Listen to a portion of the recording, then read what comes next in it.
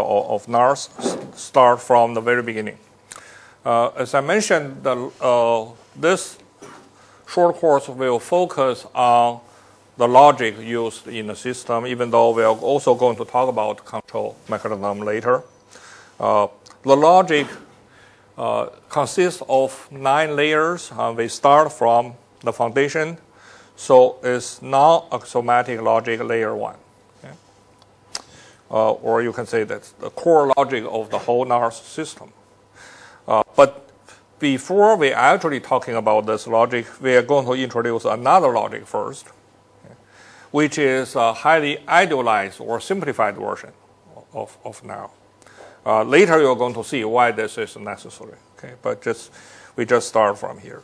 Uh, first, some basic idea. Uh, I assume you already know uh, some kind of uh, logic system. Uh, roughly speaking, in this context, when we say we define a logic, it basically means three things.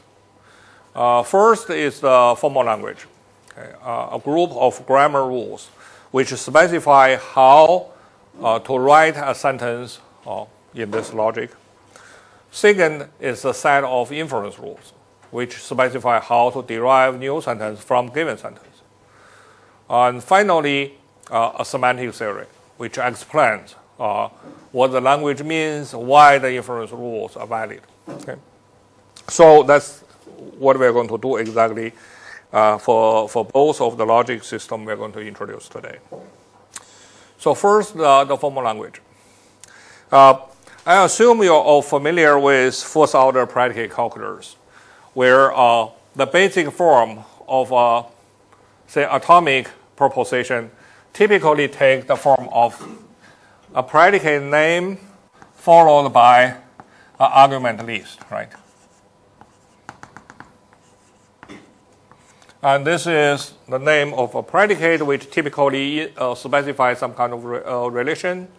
And then this is a list of arguments which can either be a constant or a variable. Okay? Uh, and then this represents some kind of relationship. Later, they introduce connectives and then variables okay? and so on. Okay? So that's kind of like the basic of a predicate calculus. Uh, what I use in my system is very different from this tradition. Instead, is something called term logic. Even if you may haven't heard about this phrase, you know this kind of thing. This in history is a more uh, ancient form of logic. It's uh, in Aristotle's uh, syllogistic. So what makes this different from this? We start from representation. Term logic use subject predicate sentence. So every sentence in this kind of logic, roughly speaking, have this format. That is, there is a subject, there is a predicate.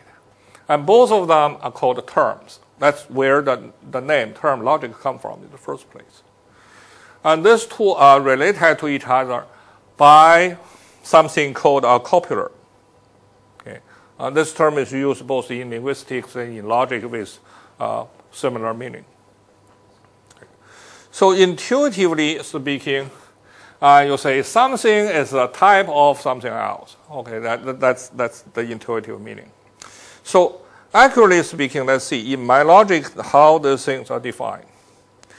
First, uh, there is a definition. Well, the, the lecture note on this kind of thing is relatively brief and informal. So the accurate definition can be found in the book, of course, uh, which is the reading material we use here.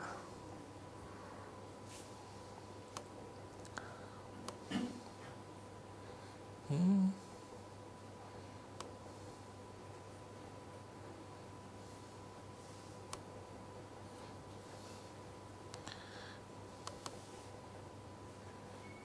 cannot be open.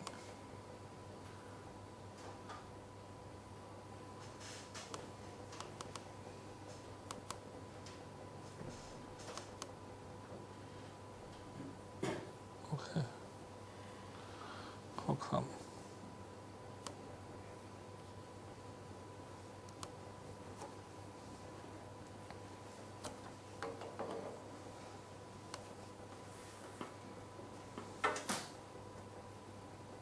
Uh, book.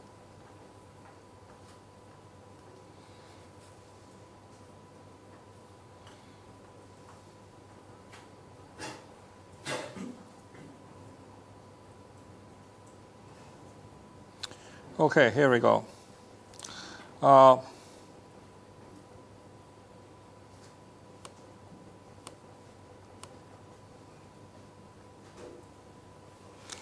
first, let's define a term in this context.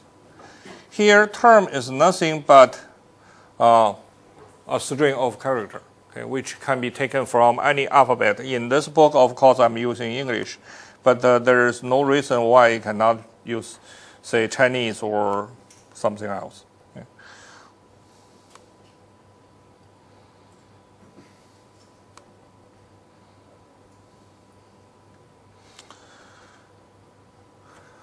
So at the very beginning, uh, the simplest form of a term uh, is just a word. Like uh, then the simplest form of copular in this case is what I call an inheritance relation. So uh, in the book, you use a single arrowhead. So this whole thing together is called a statement uh, in this logic. Or to be more accurate, you can call it the inheritance statement. And S will be called the subject term and P the predicate term. Okay. Uh, the intuitive meaning, later we're going to define the accurate meaning, uh, but the intuitive meaning is S is a special type of P. Or you can say P is a general form of S. Uh, concrete example, you can say a bird is a type of animal so that it just looks like this. Okay? It sounds trivial. And clearly this thing is related to first, first order predicate calculus uh, formula like this. For all x, okay, uh, here, I treat bird and animal both as single argument predicate. If something is a bird, then that something is an animal. Uh, also, the intuition actually in this system actually come from set theory. Uh, at the very beginning, I actually used the subset relation instead of the inheritance. Okay.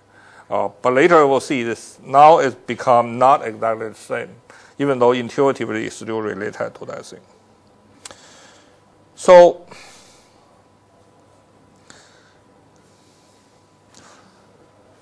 but exactly why uh, I say this is different from first order predicate calculus for representation uh, and uh, set theory representation. Well, you'll see this is a definition. This copular is defined in, in the current form as completely by, by its two property. First is reflexive. Second is transitive. Nothing else. Okay? And also is defined between terms. It's not defined between, uh, say, sets or something else. Okay? That's, that's why this one is, accurately speaking, different from the, the other relation I just mentioned, even though it's kind of similar and uh, and that's it. So you see, this language is very simple for this logic. Okay? Uh, you see, every statement is a term and a copular and another term. Uh, a copular is just this inheritance thing. A term is nothing but a word. Uh, so that's the uh, grammar rule for what I call an inheritance logic, which is also built layer by layer, used uh, in the first layer of this inheritance logic. Then semantics, and things become a little bit more uh, interesting, even though it's still very simple. Okay?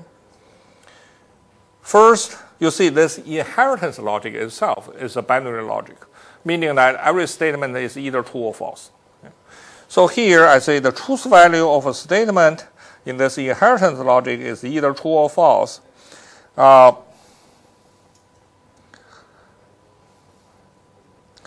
then according to the definition, I said the, the inheritance uh, copular is reflexive and transitive, which already gave us uh, the following two theorem.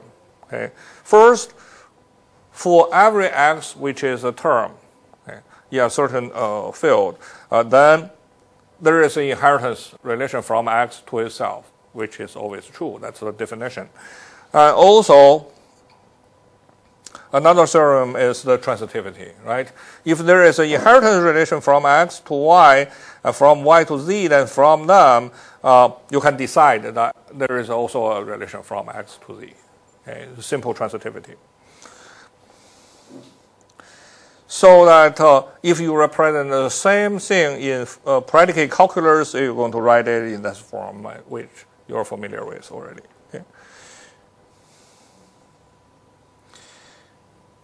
Then I introduce the notion of idealized experience or ideal experience. Okay? Later we will see uh, there are other types of experience of the system. But first, let's think about the ideal situation, which by definition is nothing but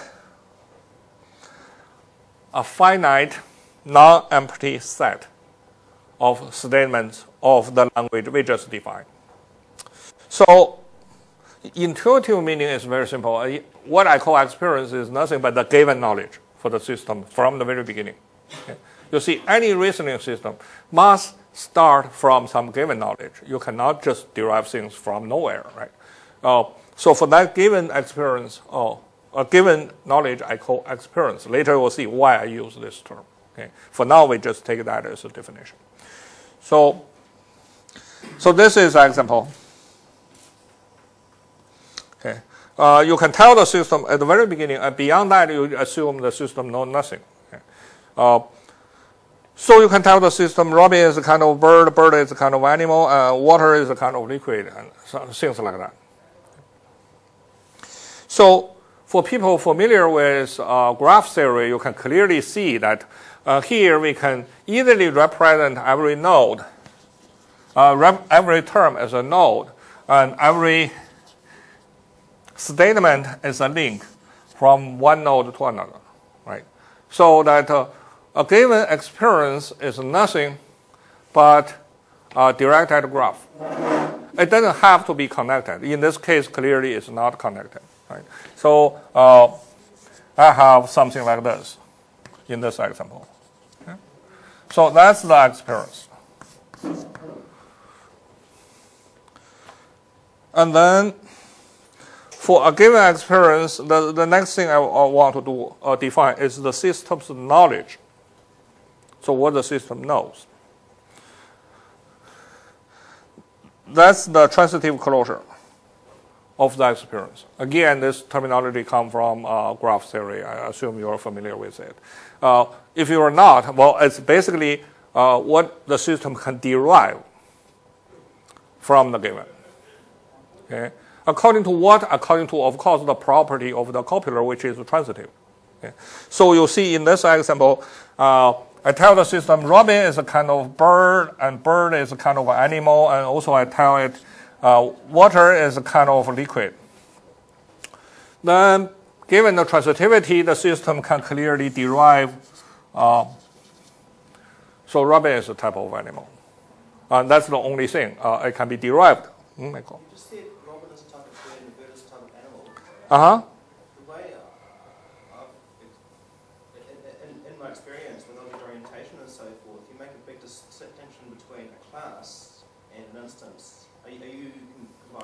Uh, we are going to talk about that in the future, but uh, here at this stage, there is no such a concept of a class and instance. Everything is a term. Okay, and that notion actually is introduced in the second layer. The first layer is just a whole bunch of words uh, related to each other uh, just by one type of relation. That's the inheritance relation. Okay, nothing else. But uh, you're right. Clearly, we are going to introduce that kind of thing uh, for more complicated knowledge. But for now, it's flat, okay, perfectly flat. So, so after I add this thing in, uh, this k become this k star which is uh, what the system know according to uh, the given. And of course, in certain situation, this one and this one are actually the same if there's nothing can be derived, okay? uh, which is possible. So you always have this. Okay? That's uh, easy to see. Uh, so this is the K, this is the K star. And again, since this, both of them are defined as sets, there is no order uh, among the statements in it, and there is no duplicates, right? Just like in ordinary set theory.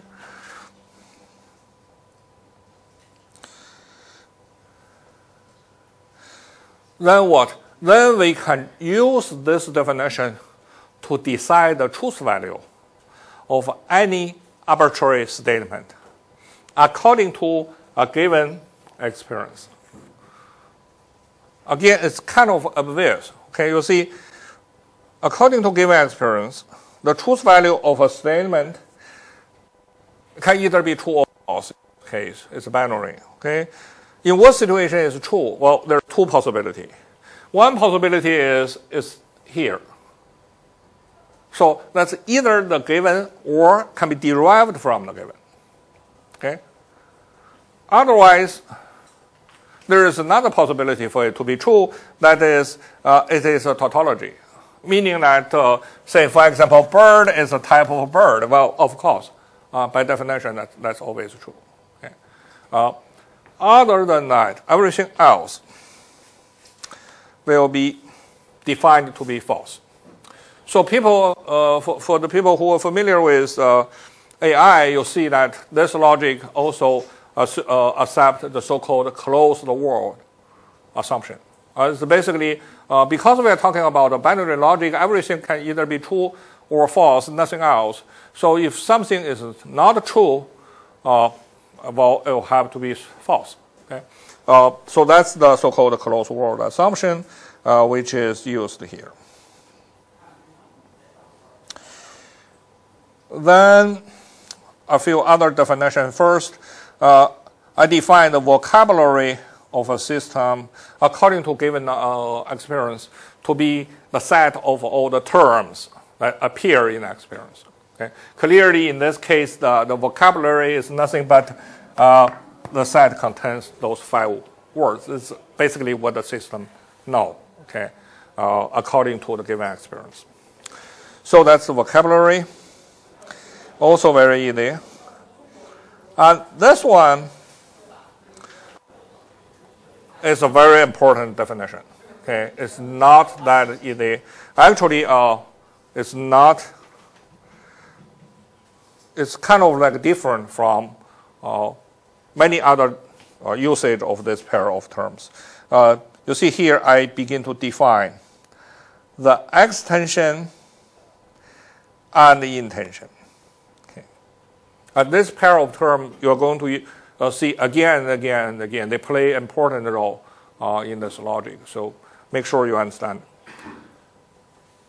So this are the formal definition, which looks uh, complicated, but if you, you, you check it carefully, actually it's pretty simple. Uh, for example, for a given term, you see extension and intension are always defined with respect to a given term. Okay? For example, in this case, let's concentrate on bird. What is the extension of bird? Well, by definition, it's a set of terms which are in the vocabulary, and also there is an inheritance relation from it to bird. Okay? Or intuitively speaking, the extension of a, of a term are the more specific terms according to the system's experience. So in this case, clearly, robin is in the extension of a bird. Okay? Also, be careful, also bird itself. Because, you know, it's a tautology, so this is, this is always true, and also clearly bird is in the vocabulary. So in this example, the extension of bird is this one, this one, in a set. Intension is a pure symmetric on the other side. That is, the intension are the more general terms in the vocabulary. So in this case, the intension of bird is animal, again, bird itself.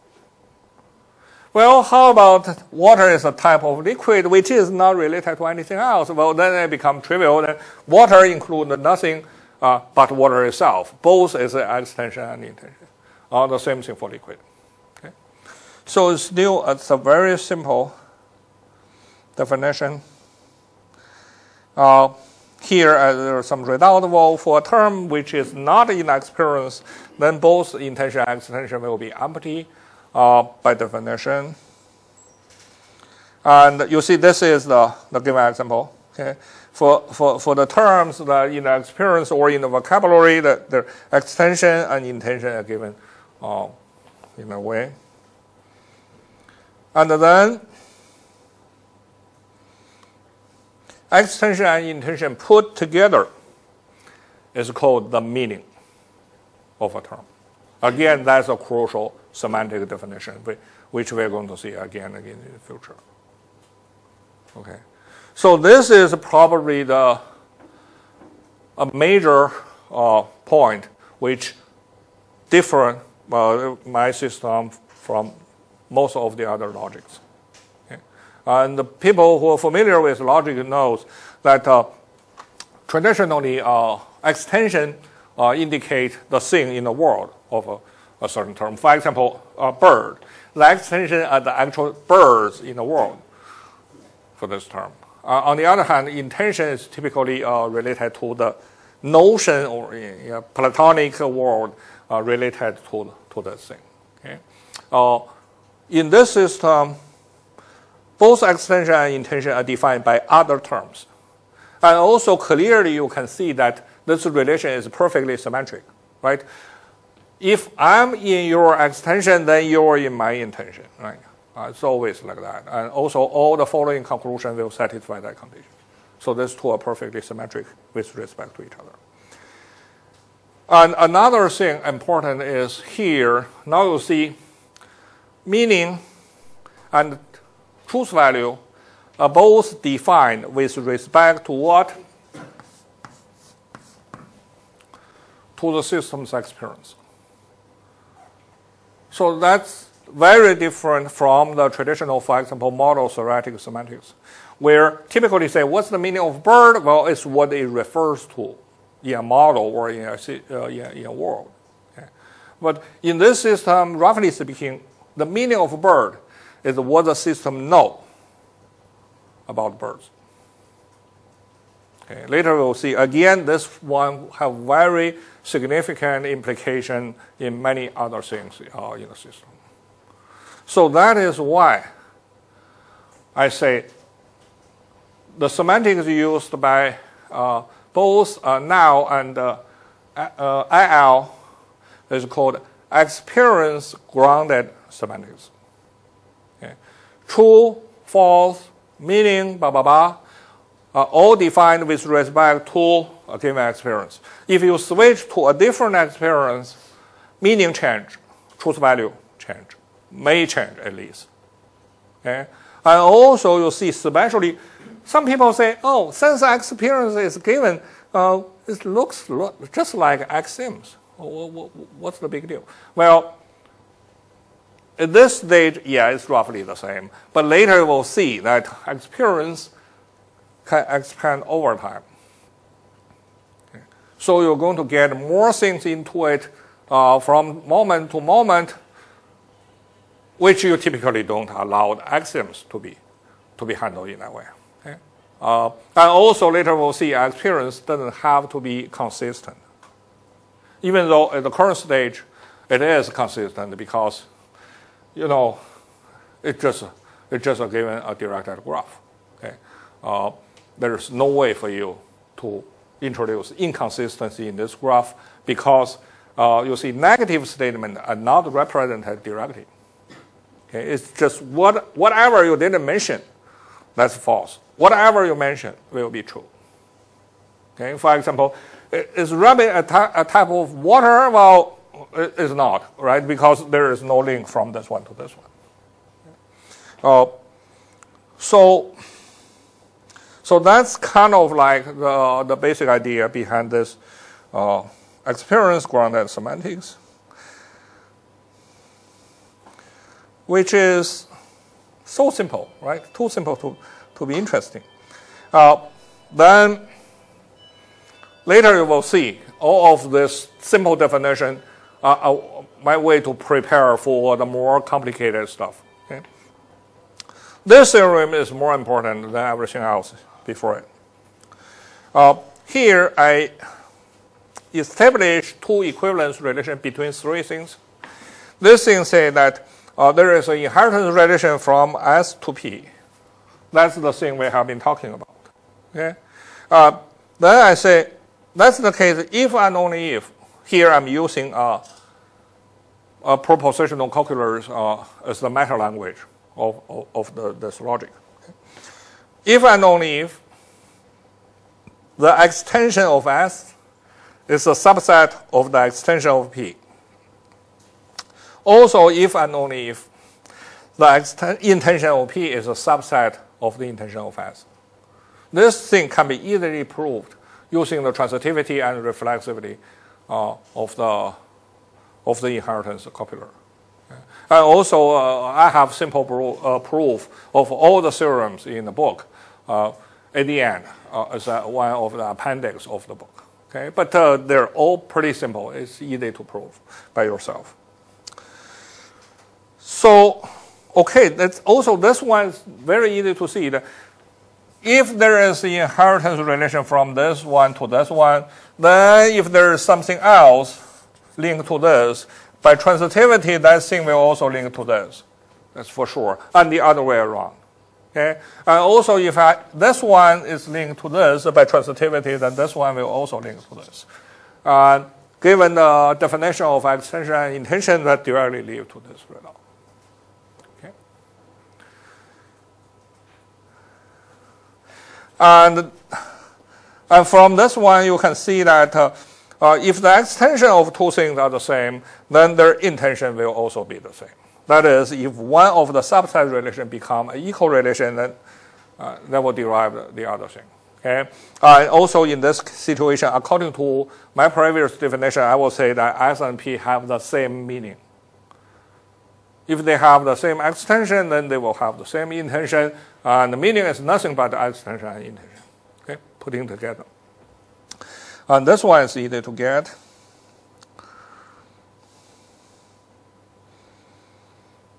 That's the semantics. Then inference rules. Again, this logic only have one inference rule. That's nothing but the transitivity of the inheritance relation, okay? which we have been using even though we didn't call it uh, inheritance uh, uh, inference rule, which say that this inference rule will take two premises and derive a conclusion. And this two premises need to, uh, to be two inheritance statement with one common term.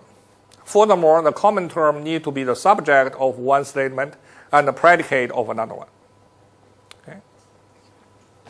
And then the final, so that's something like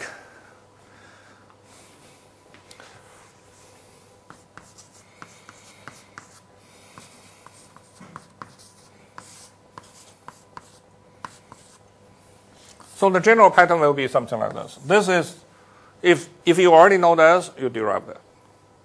And that's very similar to Aristotle's syllogistic, uh, at least uh, the simplest form of that. Okay? So that's another reason why we see this is a term logic. And later we will see what uh, the difference between this thing and how you do uh, inference in predicate calculus. So you see, uh, I use uh, several different format for inference rule in the book. Sometimes I use this format. Sometimes I use the other format, uh, something like this. There is no real difference. Uh, you just say that from this side you derive this conclusion.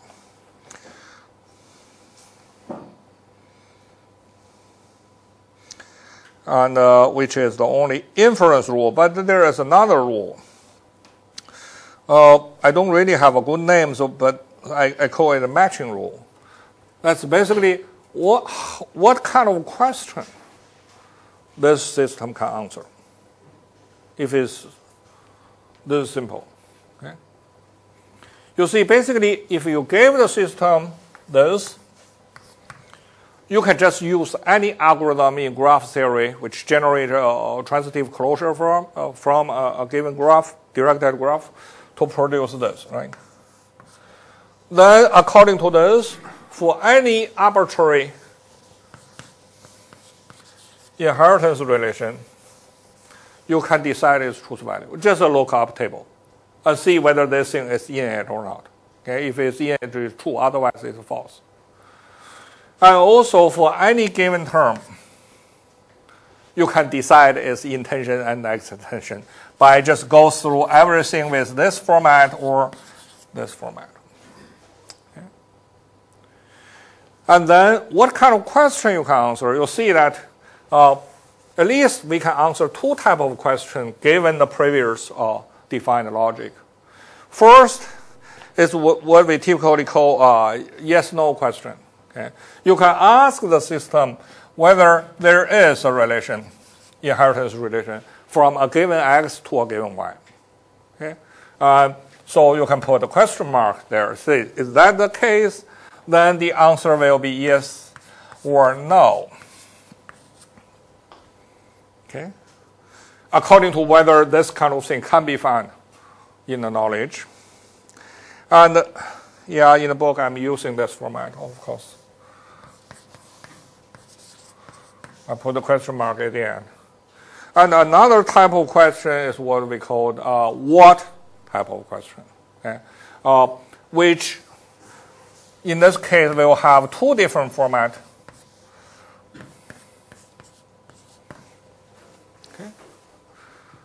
It's basically asking for what is in the extension of x and what is in the intension of x, respectively. Question? Uh, this doesn't seem to take uh, reflexivity into account. You just check if uh, the sentence is in K star. Mm-hmm. But K star is a transitive closure, not a reflexive. Mm-hmm. So isn't that mistake? Yeah, uh, actually here I said that um, I don't take reflexivity uh, into account because uh, a tautology for this two question, a tautology will be a trivial answer uh, because this is always true. Okay, so you don't even want to ask. It's a trivial answer, It is a correct answer. But uh, my, my rule will only pick, you're right that it doesn't pick all true answer. It only pick what I call empirical true. Okay, that is the truth value is established according to yeah the experience. And then you can also check whether it's analytically true, and then then you can check it that way. Okay.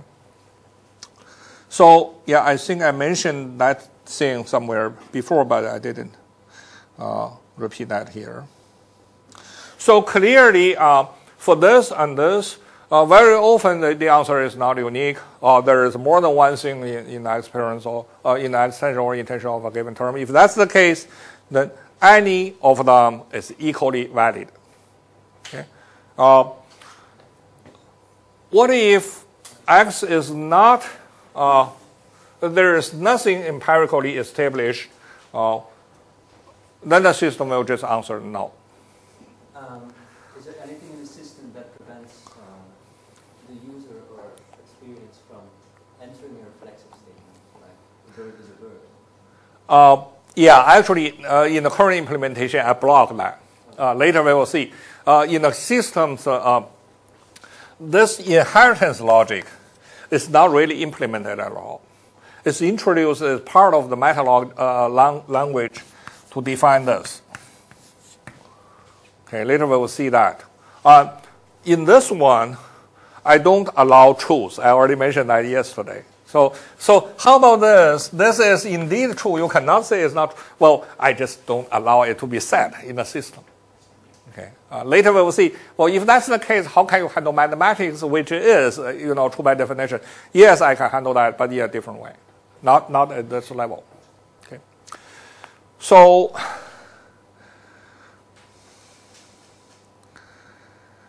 So that's the, the, the matching rule. That is, this knowledge, if it's in the system's knowledge, then it can be used to answer three forms of questions. Okay?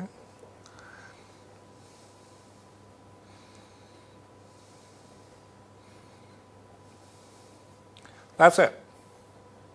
That's the very first logic system we introduced. Very simple. Okay, it doesn't really do much thing interesting. But you see, the whole function of this is to provide the logical foundation for the next one, which is indeed non-axiomatic. This one, on the other hand, actually, in a sense, is axiomatic because I didn't take insufficient knowledge and resource into consideration at all. For example, I assume the system has the resource to produce the transitive closure. Okay. Uh, in general, if I assume real-time working, I should not I should not assume that's always possible to be produced. Okay. But again, this one is an idealized form. Okay. It's binary truth enough resource to do whatever, and also there is enough time for you to do this big lookup, no matter how big that table is. Okay. Now we are going to move into the real thing. And then you're going to see why we want to do that first. Okay.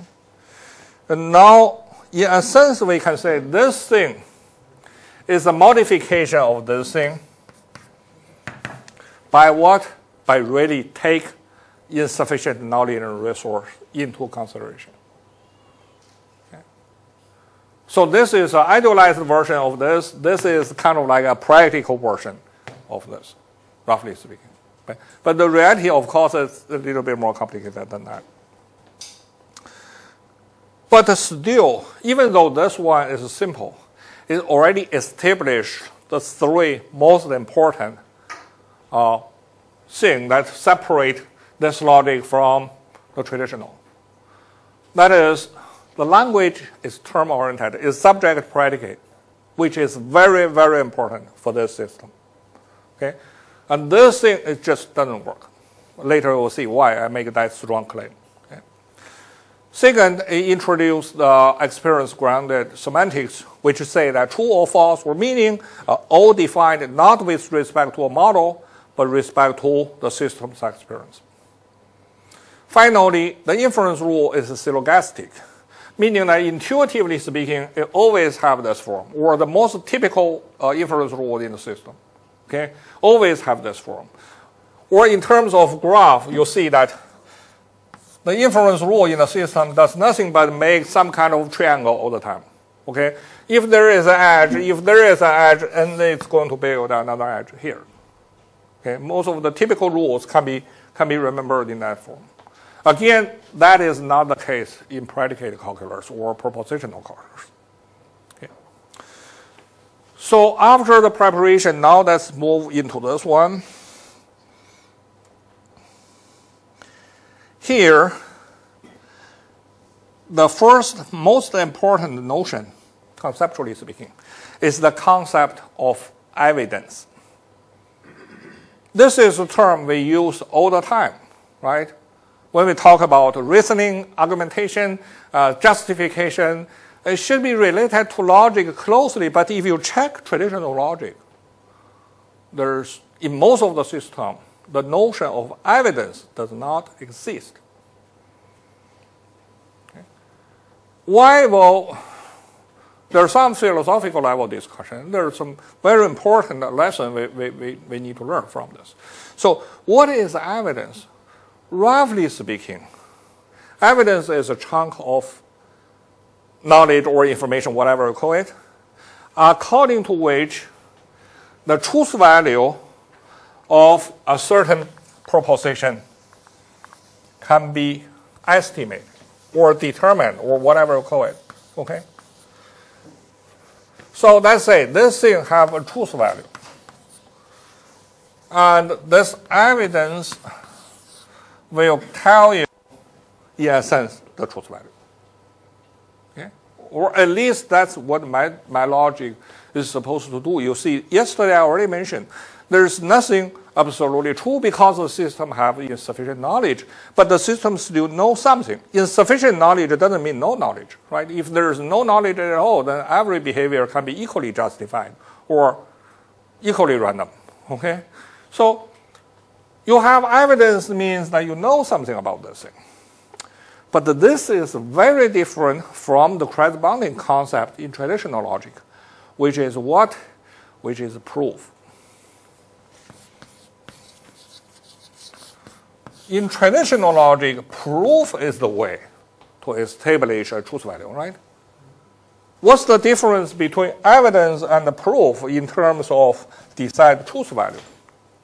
Intuitively speaking, before you learn any logic, you know, when we say we have a proof, it's kind of like your result is conclusive. You know, you, you, you can prove this is true, and then it will stay true, right? If you can prove it's false, it will stay false. It's, it's extreme and conclusive. You have problem settled. On the other hand, evidence is much weaker than that. You have some evidence about the truth value, then you, you can put a number there, but you may get some other evidence which will force you to modify that number. So evidence also give you some information about the truth value of something, but first is not extreme, meaning that it doesn't necessarily push it to completely true or completely false. Second is not conclusive, because typically no evidence can settle the thing down forever. But intuitively, we know there's some good evidence, some not so good evidence, there's some strong evidence, some, some weak evidence. All those kind of things will need to be taken into consideration. Question? Uh, so this evidence is more like to the evidence in the Bayesian inference, and you use it to modify the belief. In a sense, yes. Yes, but later we are going to see there are also some fundamental difference. Okay. Yes, it's more like Bayesian uh, evidence than, say, classical proof, for sure. But evidence is something which is not very easy to be introduced into logic. Bayesian network, after all, is not a logic. Okay? Uh, there, there, why? Well, that, that's a long story. I don't have the time to go into. But if you want to do this research, there are many people who have tried to combine probability theory and first order predicate calculus. Basically, they think first order predicate calculus can be extended from binary into multi-valued, and that multi-value is nothing but probability. It's much harder than it sounds. It sounds very intuitive, okay, this idea. Uh, many people have tried with limited success, uh, but there are all kinds of troubles Yeah. Okay. Uh, part of the reason is because first order calculus, uh, or first order predicate uh, logic and probability theory are based on very different fundamental assumptions. Okay? Uh, in a sense, they are not really completely compatible with each other. So when you try to combine things together, that's kind of like the integrative approach of AGI I mentioned yesterday. Okay, there's some fundamental difference, and you need to have find a way to handle. Okay? So anyway. Let's see. Yeah, in the book I have more discussion about previous related work and so on.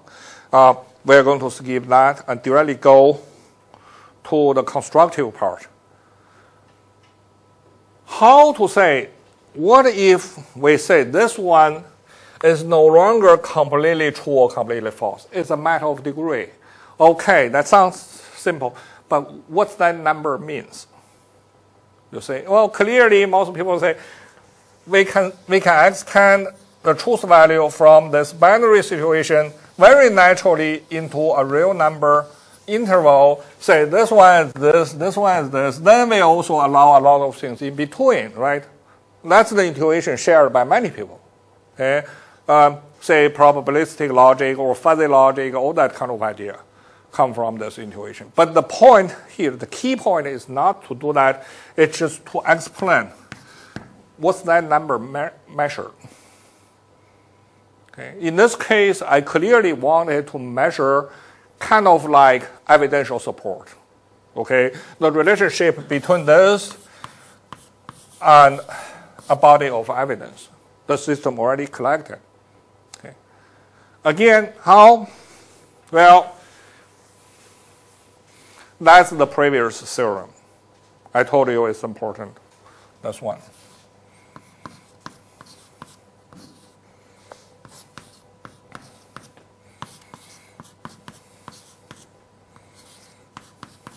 I say these three sentences are equivalent to each other, meaning that they have the same meaning, or they should have the same truth value, right? So that if this one become a matter of degree, then this and this also need to become, or may become a matter of degree. Okay? And this is introduced exactly for this purpose. That is, to make this thing a matter of degree. Intuitively speaking, it's much easier than that. Okay? Because that's something new we just defined. This is what? This is a subset relation.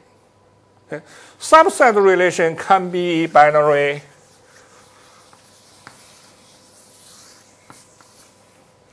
Or it can clearly be extended into partial. Okay?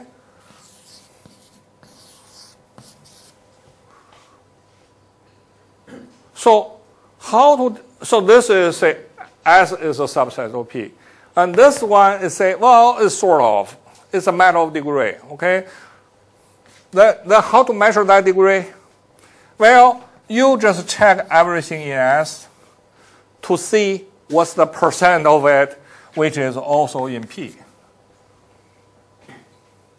Okay?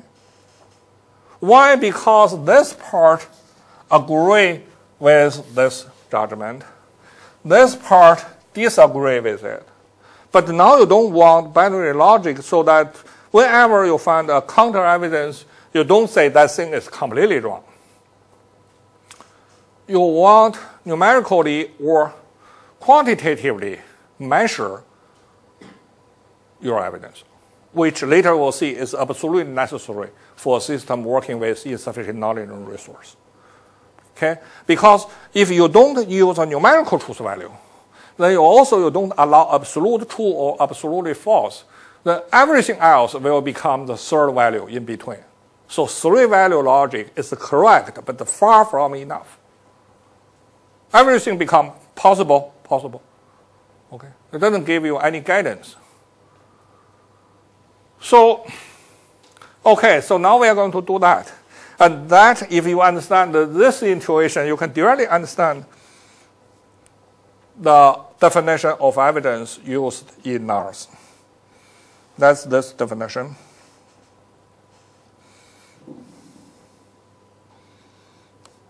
The positive evidence are the evidence that's in the common extension or common intension of the two sets or two terms. Like in this case, if we concentrate on, oh, by the way, this is just an intuitive picture, okay? This is not an accurate representation of this one. Because why? Because S and P are not terms, are, are not sets. Okay, they're terms. But their extension and intension are sets. Okay? So my bad, I need to be, if I want to be more accurate, I should say this is the extension of the two things. Then you can draw that picture. Okay? So you see, this is nothing but the common extension of S and P.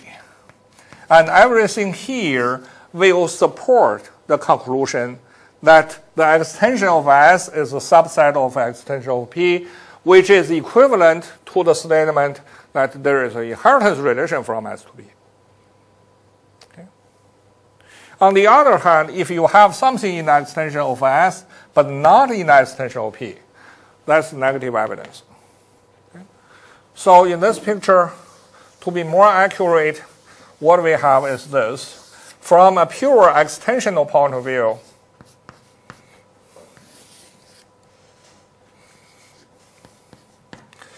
these are the positive evidence. And these are the negative evidence. How about this? This is irrelevant. Okay? The intension is symmetric. So you have the intension of P, then you have the intension of S, and these are the positive evidence, and these are the negative evidence. That's exactly what this definition says. And also another important thing is uh, this thing you see, uh, evidence can come either from the extension side or from the intension side. Okay. Later we'll see, at this level you can still separate them. Later when I do measurement, I actually mix them together. That's another important decision which I'm going to explain why in, in the future. It looks in counterintuitive at the very beginning. Okay? Uh, many people have argued that since uh, extension and intension are clearly different, you should actually separate those two measurements all the way. And that's actually what I tried in the first place. Okay? And later I realized they're not only impossible, also there are a lot of limitations. So I merged them together. Okay?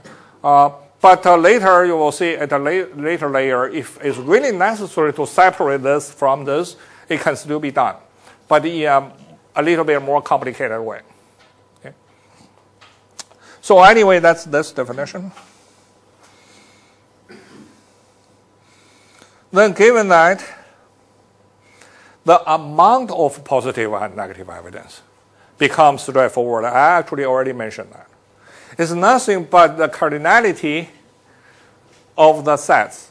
Right? You just count how many plus and minus are there. And and accumulate them separately, you see that you add the extensional part and the intensional part together. That's the total positive evidence. This is the total negative evidence. This is the total evidence, which is positive plus negative. So intuitively speaking, the total evidence is how many times you have checked this relation. Okay? Uh, you check it 100 times, maybe 80 times it's positive uh, 20 negative, something like that. And also you see in terms of uh, the scope of evidence, you see it's determined by the extension of the subject and the intension of the predicate. And some of you may already think, well, this one looks symmetric. Okay? So that whatever support this it seems also support this, which sounds probably wrong. Well, actually, that's right. Okay? Uh, positive evidence are symmetric, but negative evidence are not. Okay, that's another thing that have interesting uh, implication, uh, which we are going to uh, discuss in the future. By the way, how many of you here know uh, confirmation paradox or Hempel's uh, Raven paradox? Okay. Yeah, hopefully in the future we will talk about that. And that's actually here what I gave as a, a solution to that problem. Okay. Uh, I, I will explain that in the future, hopefully. So, okay. Now, a key definition, truth value. Truth value, I already said, it, it measures evidential support. So no surprise that the truth value of NARS is defined with respect to the amount of positive, negative, and total evidence. But the first question is, well, it seems that since what you really need is evidential support measurement, okay, uh, you already defined that why bother with something else? Uh, maybe this is already uh, enough for your for, for, for the logic itself. Uh, yes and no. Theoretically speaking, yes, all the information are here. Okay? Uh, truth value later we'll see is nothing but a, a, function of this. And this three number, of course, there are only two uh, degree of freedom because this plus this equal to this, right? So among these three, you can decide, you can use uh, any two of them, the third one will be uniquely defined. And also, of course, there is a there is a restriction that uh, both of this uh, will be truth value. Well, here it looks like integer, but in reality, it doesn't have to be integer. You can have half piece of uh, evidence, okay? Uh, and this one will be at least as big as uh, either of the two. And, uh, and one of them can be zero, okay? Uh, of course, the whole thing can be zero. That, that corresponds to, I don't know. I have no information at all. Another common question at this point is that people may say, oh, this looks too simple. Evidence clearly is much more complicated than that. Okay, you may have different evidence from different places. They may have different weight, and some of them may be more reliable. Some of them may be wrong. That's completely correct. But I'm not going to take that into consideration in this stage. So once again, here we are talking about idealized situation. You see here, the reality later we'll see. I'm using this language to define evidence for this language. Okay? And this is the idealized thing. You, you never have it real, uh, in reality. But you can use it as a definition. So my excuse is think about how we define a unit in all the other fields. How do you define a meter or kilogram? Something like that. You see, if you check the definition, all of them are defined in a highly idealized situation. In reality, you never have that environment. But that definition gave you the basic unit. Okay? Then what you use in reality will become kind of like approximation of that idealized unit. Here, what I'm doing is exactly the same. Okay? So this is the definition. This is not how you decide the truth value. You don't really count the extension and intension. Okay? But that's how you understand what is measured. Okay? We're going to talk about that more in the future, but now I just think I just know that some of you are already thinking about that. Here is the truth value.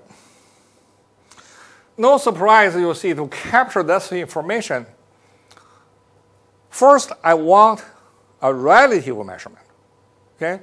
And this, you know, both of them is in this range.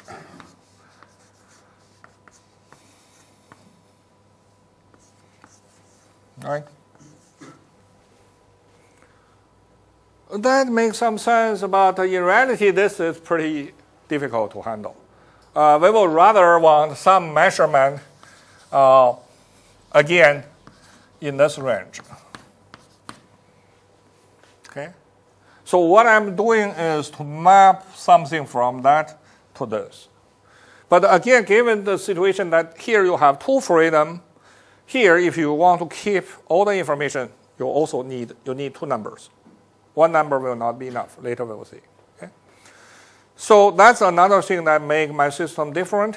Is is using kind of like two components or two dimensional truth value. It's not only a multi-valued logic. It's more than that. It uses two numbers. Okay?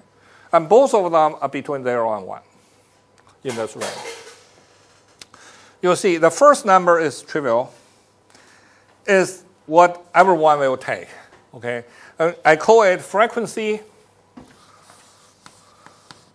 is the proportion or ratio of positive evidence among all evidence. It just, as I said, I checked this uh, 100 times.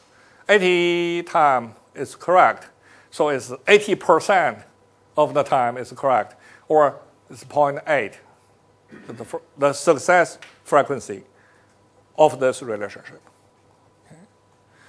Many people will say, some of you may say, oh, that's just probability. No, Probability is what?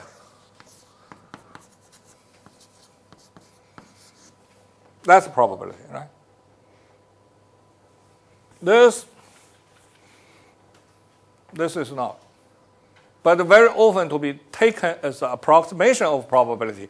Later I'm going to argue that's not even an approximation of probability in my system. one reason I can mention now is this thing doesn't necessarily have a limit, okay? Not all ratio has a limit. It's not true. Some of them has.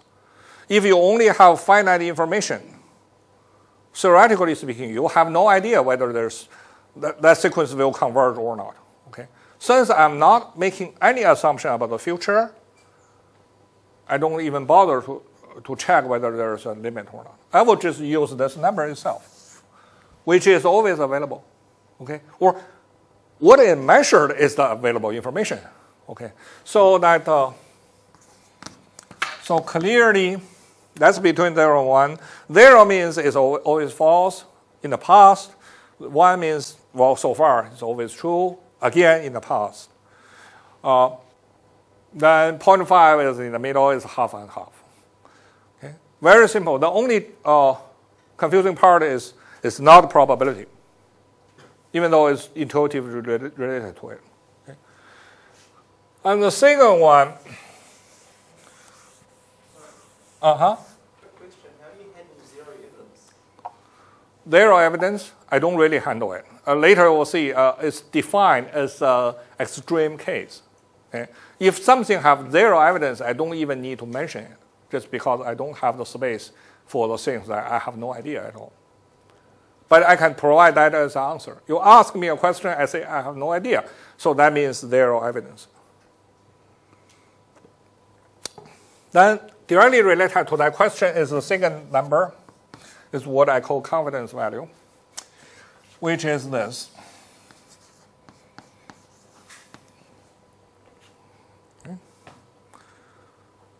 This is the total amount of evidence. This one is what I call a system parameter. It's a constant. It's uh, actually it's a positive constant for some reason later we'll explain, it need to be larger than or equal to 1. Uh, this is uh, what I called, in this new book, I call it evidential horizon. Uh, also, is one of the so-called system personality parameter. Okay. Uh, whatever I call personal uh, personality parameter are the numbers. There's theoretically speaking, there is no optimum or correct value. Uh, value in a certain range may all work. For example, in this case, I have tried uh, to use k equal to 1 and k equal to 2, and both of them actually work reasonably well. Uh, but the system will have some systematic uh, difference in its behavior. Again, we're going to talk about that in the future. Okay? To make things simple in the following discussion, that's, by the way, that's the current default value uh, in the code, equal to 1. First, let's think about what this number is about. Well, intuitively speaking, it comes from a very simple observation. That is, if you tried something, uh, it works once, but fails once, and this f will be 0.5. What if you tried it, it is successful for one million times and also fails another million times? F also is 0.5, right? Right in the middle. But your belief actually is very different than these two scenarios the difference doesn't show up in your preference between a yes answer and no answer because in both of the situations, you're right in the middle. You don't have a preference at all.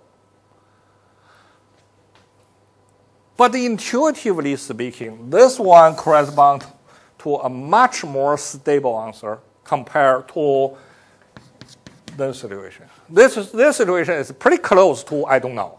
I know a little bit, okay? This I know a lot. So how to capture that thing? That's what this one is about. You'll see that, and this issue also have been raised before uh, in history. Uh, some people say that actually shows the uncertainty within this number. Okay, in this case, this number is very uncertain. In this case, this number is itself is certain. So many people have tried to introduce, for example, second order probability. So that's the probability of a probability. Okay, uh, intuitively I agree, but technically that approach have all kinds of troubles. Okay.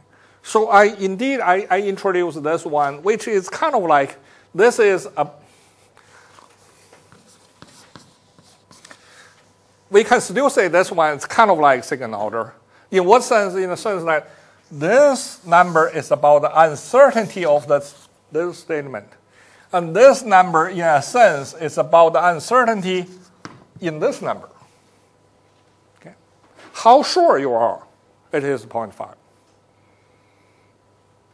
But it is not a probability. You see, at least we can see the extreme situation.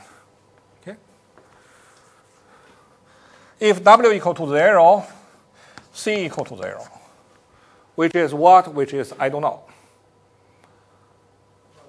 When W become bigger and bigger and bigger, this thing will converge to 1, but it will never reach 1 because this is always bigger than this, right? By a little bit. Okay? So you can say, I'm pretty, pretty, pretty sure there is always a chance your belief will be modified by future ex experience, no matter how sure you are. But indeed, there is a difference between this scenario and this scenario. Okay. So this one, I introduced this measurement, this formula a long time ago, but I have been keep thinking about how to explain it. Okay, what it actually measures. Uh, second order, you, you see here you already see uh, why I don't think second order prob probability uh, interpretation is going to work. If this thing actually is a probability, then zero means what? Zero means the true probability of this statement is not the number you gave. Okay? You gave me 0.5, I say it's wrong, it's not 0.5. That, that's kind of like second order probability. But that's completely different from the actual interpretation. The actual interpretation is zero means I have no idea. I cannot say you're wrong if I have no idea. Okay? That's two different scenarios. So, but later I realized actually there is a relatively uh, natural interpretation because this measures what this measures what you know at the current moment. Actually, any positive number will work. Uh, later, but later I will see, uh, we will see uh, uh to make it bigger than 1 actually is necessary. So, but still, uh, everything bigger than 1 or equal to 1 should work okay? under the current discussion. It gave you the, the idea about kind of like how much you already know. Okay. So you'll see that also this number actually, in the current form, actually converge. It converges to 1 because it monotonically increase over time, right?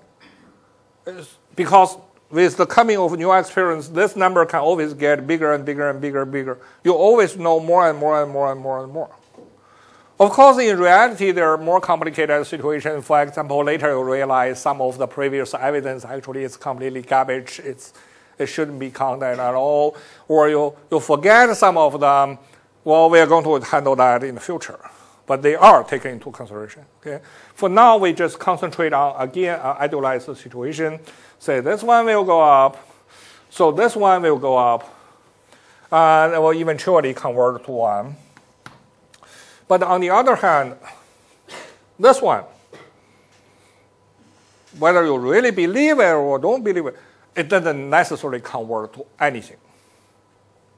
Okay? So that's not a probability. This thing converts to one, but also is not probability.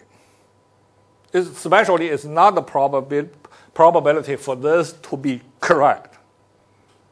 Okay? It's a reliability in a sense. So,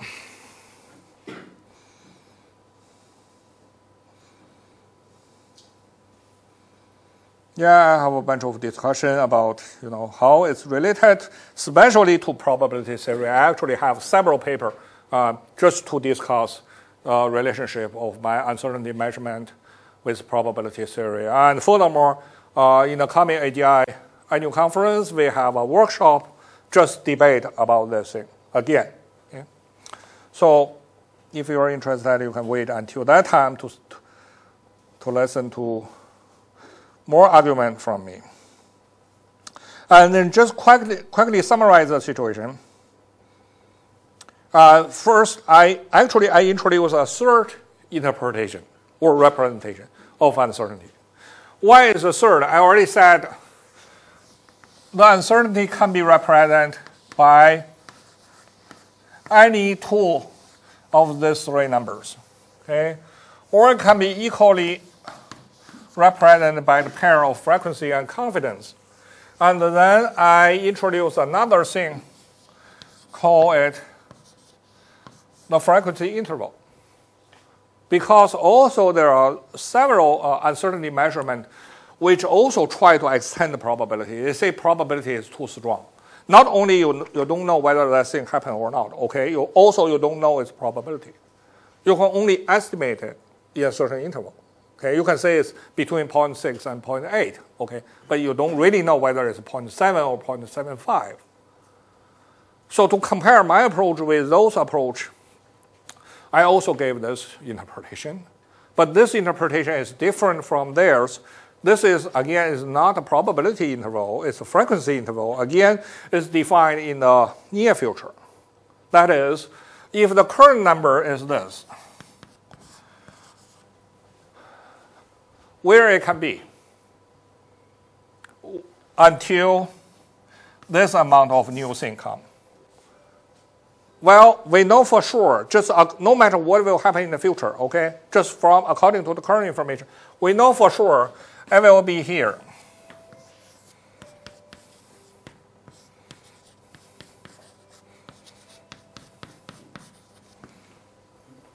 Think about it. It's obvious.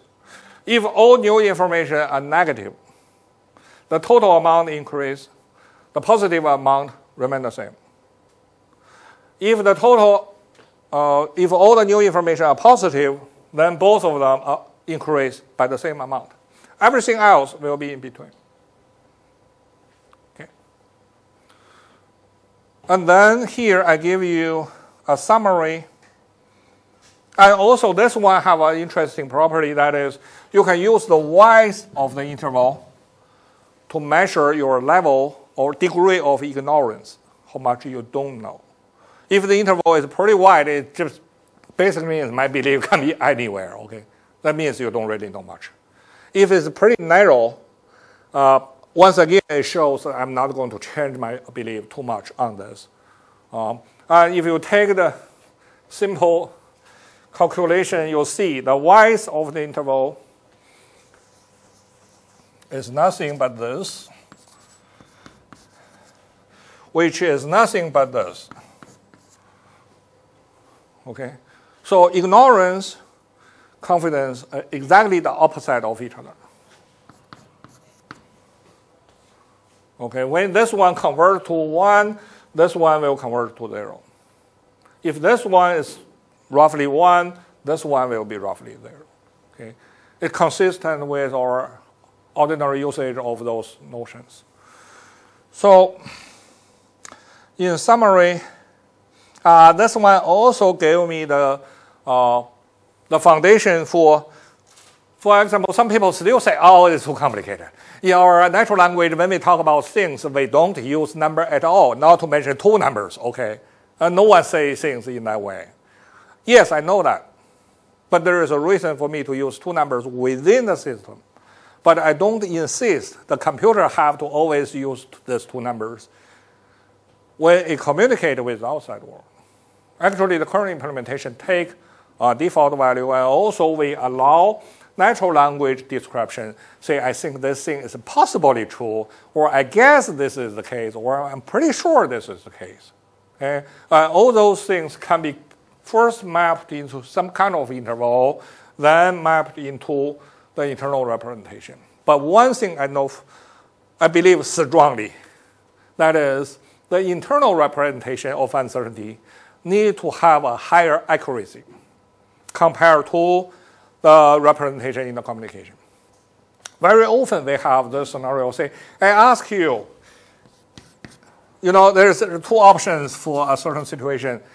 Is A likely to be the case? You, you say, yeah, I think so. I think it's possible. And how about B?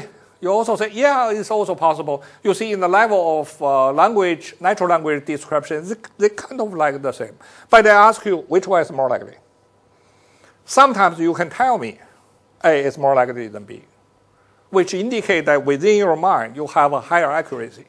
Okay, then you usually uh, use uh, in your natural language representation. And also that thing actually later you will see is absolutely necessary. So in natural language interface, just one minute, I allow a lower accuracy, but within the system, I insist to use two numbers.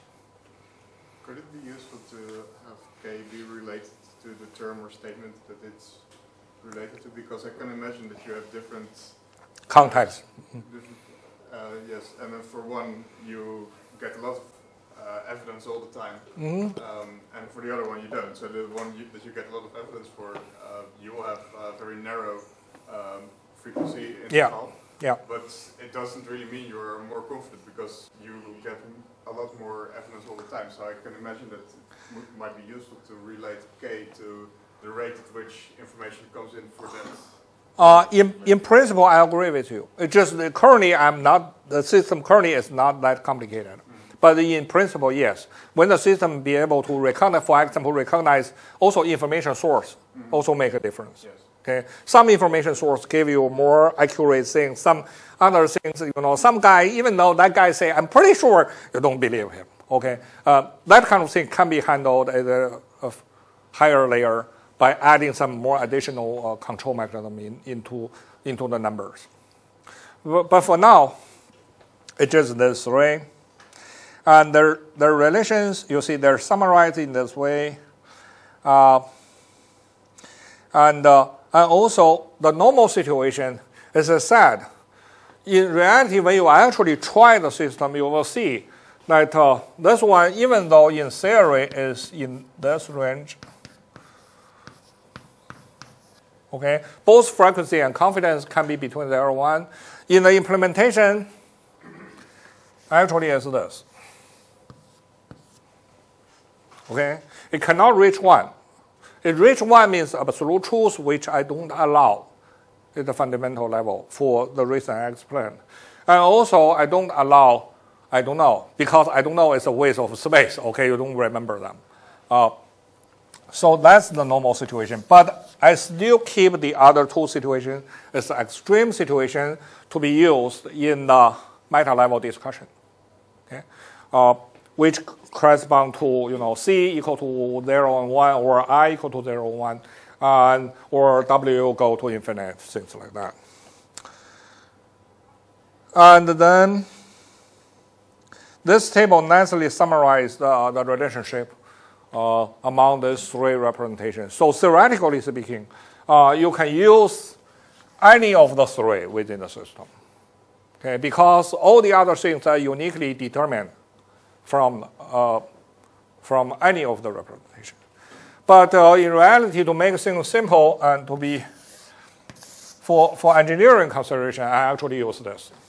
Okay? I leave the other two in the discussion. Say, if you give me some interval data, I can uh, interpret in this way, then use the, the mapping to translate it into this, or the other way around. You, if you tell me, you know, I tried this five times, uh, four times is right, one time is wrong, then you're giving me information in this form. And then I will, I will convert them into this and remember it in the system in that way. Okay? Then, now the new grammar.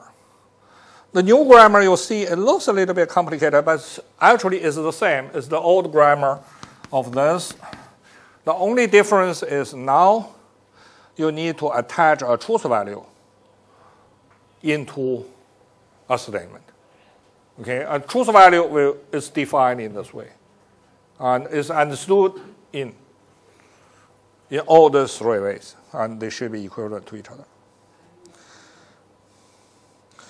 So, but now you see that that's what I said. I use this one to define this one. Why? Because I kind of, in the previous discussion, I still assume evidence itself is either completely yes or no. I just count them, okay? Uh, and then I get this number. It's a matter of degree. But in reality, of course, you don't have idealized evidence for you to count. So the reality is, or the input itself, or the actual experience, is nothing but a sequence of statements with the truth value itself. Okay? So the input information already have a different label attached to it to indicate how strong or how you know, true it is. Well, if that's the case, why bother to use this idealized version? Why not directly do this using actual experience? You cannot, because that's a circular definition. Okay? You're using the truth value of the premise to define the truth value of the conclusion, then you need to explain where the number come from in the first place. So what I'm doing is uh, said just like in physics and many other domains, I define evidence in an idealized situation and use that definition to define truth value. But then what? Then I will know that if you give me a statement with a truth value, for example,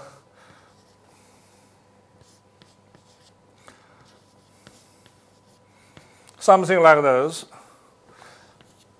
then I will say this one is as true as I have tested nine times uh, in idealized situation, and they're always correct. Even though in reality I have tried 12 times in last idealized situation. Okay? So we're using this kind of like as an idealized unit to measure your degree of believe. So that's the key difference between uh, actual and idealized experience. The ideal, actual experience are the one that actually used in the system uh, to, to do reasoning. Okay? This, uh, this discussion about that.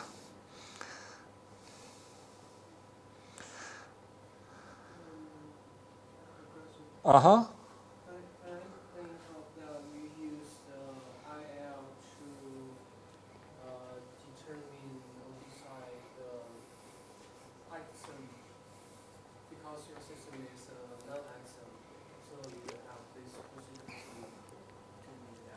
Uh, yes and no.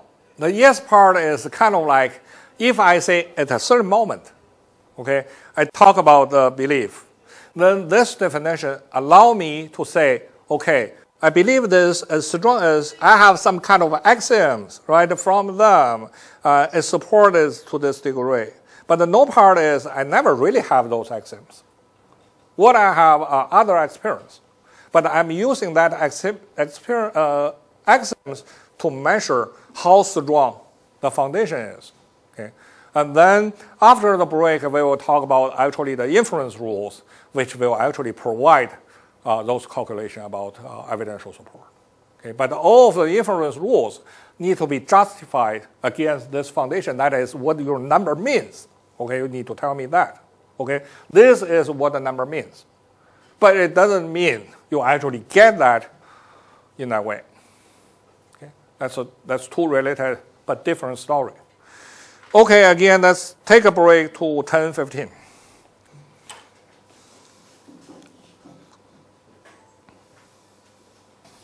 Uh, we actually already finished uh, two major components among the three okay, uh, uh for logic. We have defined the language. So very simple language.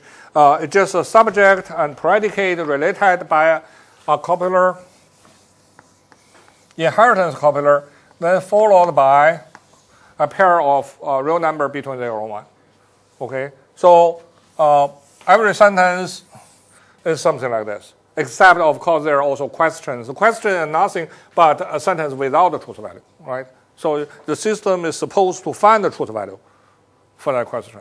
And also, in some question, subject or predicate can be a variable to be instantiated. So it's a what is a P, something like that, right? But after all, something like that provide Uh, that's how the language is, defined in this very simple logic. And also, intuitively speaking, using graphical representation, uh, you see it's nothing. Now we say it's a directed, weighted graph, right? So now we have a lot of nodes, each one correspond to a term, and then there are links in between. Uh, whether there's circles, it, it, doesn't matter for now. Okay? Uh, and also, furthermore, each link is attached with two numbers to indicate the truth value. So the system's knowledge at any moment is nothing but this kind of graph. At least that's the case at this level. Okay, but la- later you will see it's not that simple. So far it's okay. We can use that as an intuitive representation uh, about the system's knowledge. Uh, then what's the new input? You see, uh, when the system gets a new input at the current stage, we just think, okay, you tell me something else uh, between this one and this one, uh, and uh, so that means I can build a new edge okay, between them. Or maybe some of the term you never mentioned before that will also introduce a new term uh, which related to something else okay, with, with a certain truth value. Uh, so that new input will become different way to add nodes and links with truth value to this graph. Okay. Then what is inference? Inference is kind of like using the existing links to make new links if we represent, I still talk in, in, in graph uh, theory uh, terminology. Okay? But of course, now the uh, inference rules are more complicated than before. It's not just transitivity anymore. So we're going to introduce several uh, different inference rules. And especially you see now the inference rules also need to handle the truth value. Okay? Everything is true to a degree. So if you derive uh, from this tool, you derive this, and also this should be a matter of degree, and this degree clearly depends on this degree and this degree, as well as how these two are combined to each other or related to each other. Okay? So that's make uh, that's what make the inference rule more complicated. So uh, roughly speaking, there are three group of rules. One is called local rules. Okay? Uh, which basically doesn't really change the graph, but using the existing rule for something, in a sense. Okay. And then we have forward inference rule, which derive new belief from given belief. And we also have backward inference rule, which derive new questions from given question uh, and uh, existing belief. So we're starting with the, the local rules. First one, revision. Okay revision rule uh, in terms of format, it looks like this.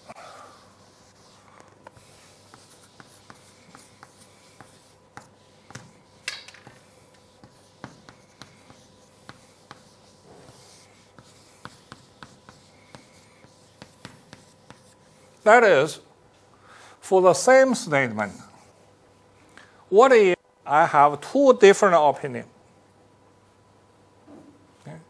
First, how is that possible? You see, in a sense, this corresponds to what?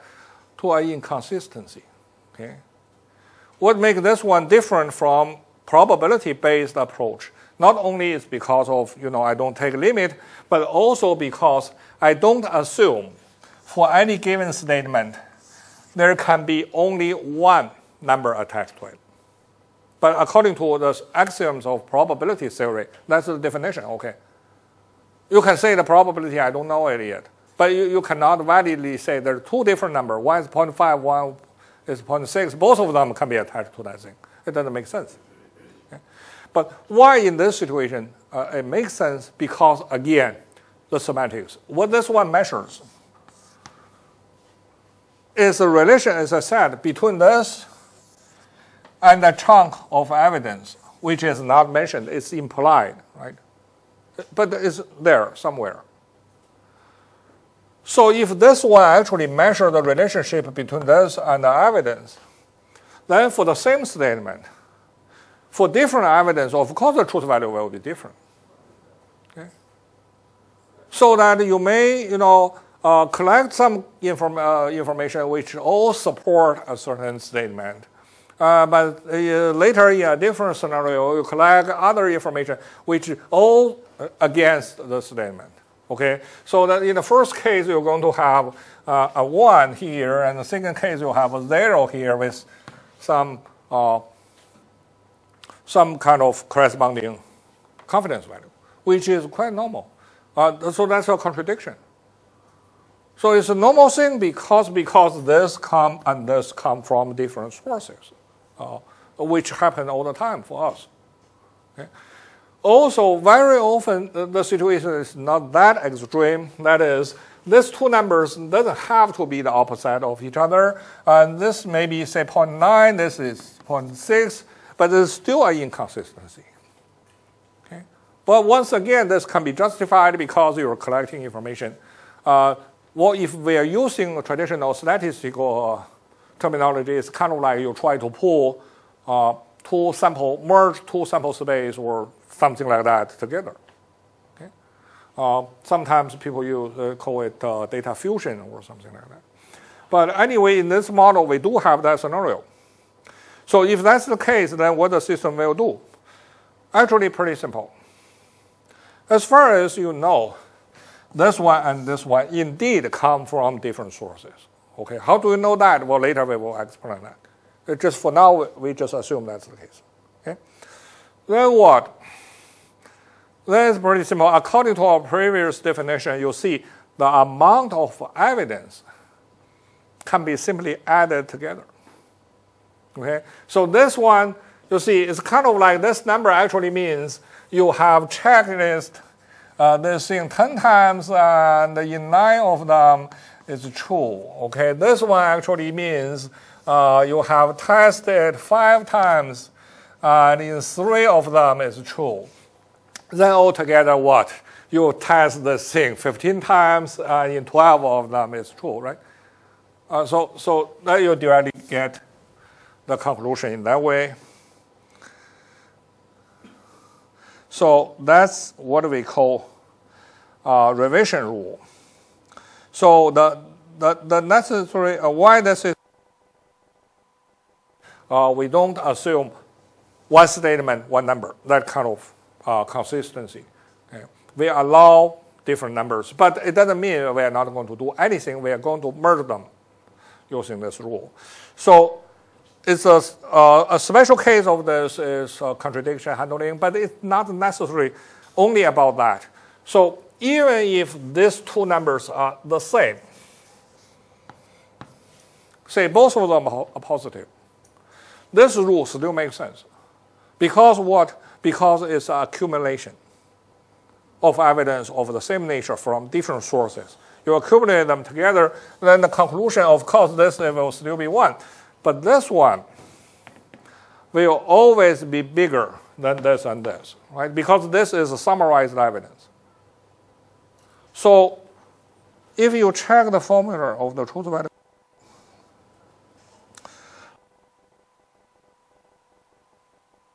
a form of uh, amount of evidence. It's just uh, the two separate things add together. Uh, but uh, if you represent that as uh, value functions, if you represent them as uh, functions between f and c, okay, actually it looks very complicated. Okay, but it's still it's just directly derived from that addition plus the relationship Uh, I show you in the previous table between amount of evidence and truth value. Okay, you can derive that by yourself. Just. Uh, but if you check it in this format, still it makes sense. You will see that this f is nothing but a weighted average of this f1 and f2. Okay, it's just the weight itself is not just these two numbers, it's some kind of function of them, which correspond to the intuition that if you have a confliction, the result is always a compromise but not necessarily right in the middle.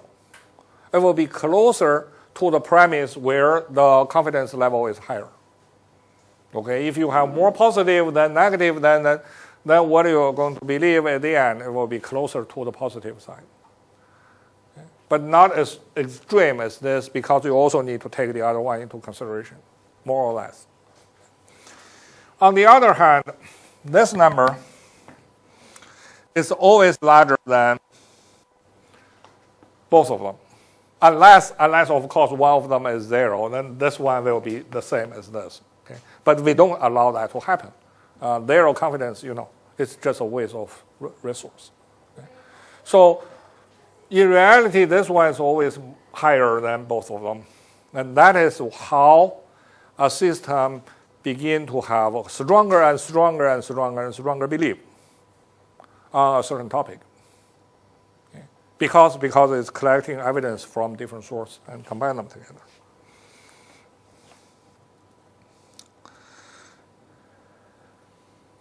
So the really tricky part for this rule is not the truth value function.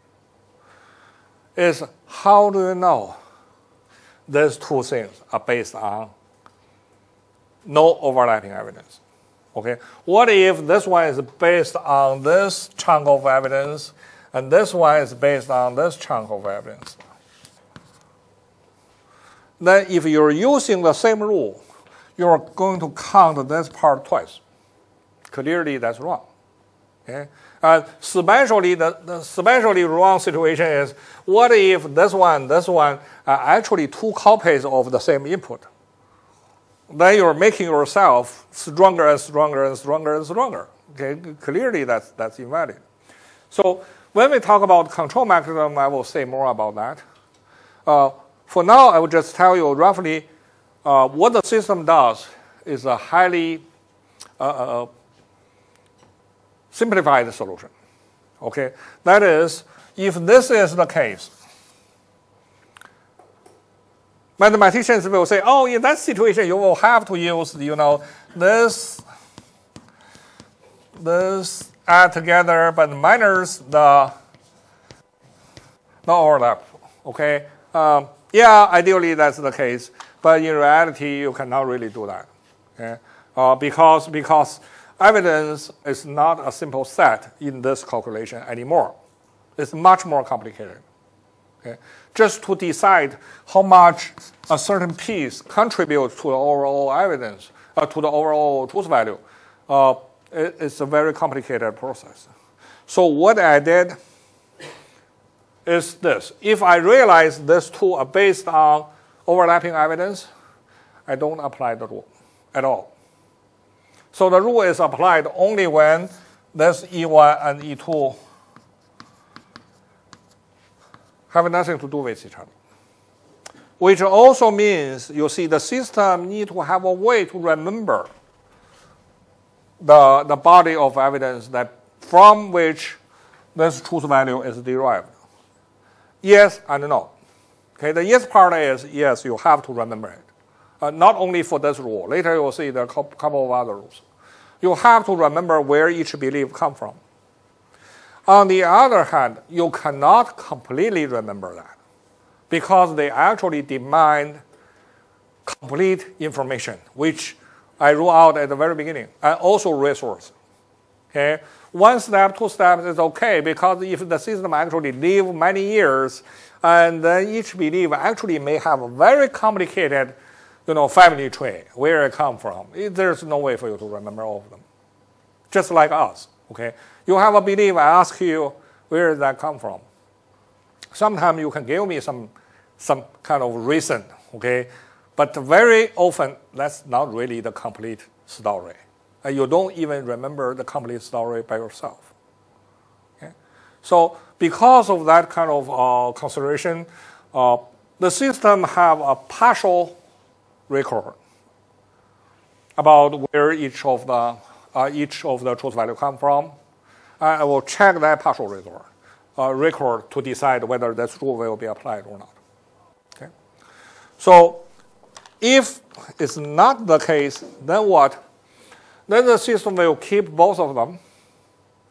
Okay, but remember they, they come from different places. What if the system have to make a selection? Uh, say that, for example, you have indeed have a 0.9, 0.6, for 1, and this is a 0.8 and 0.7.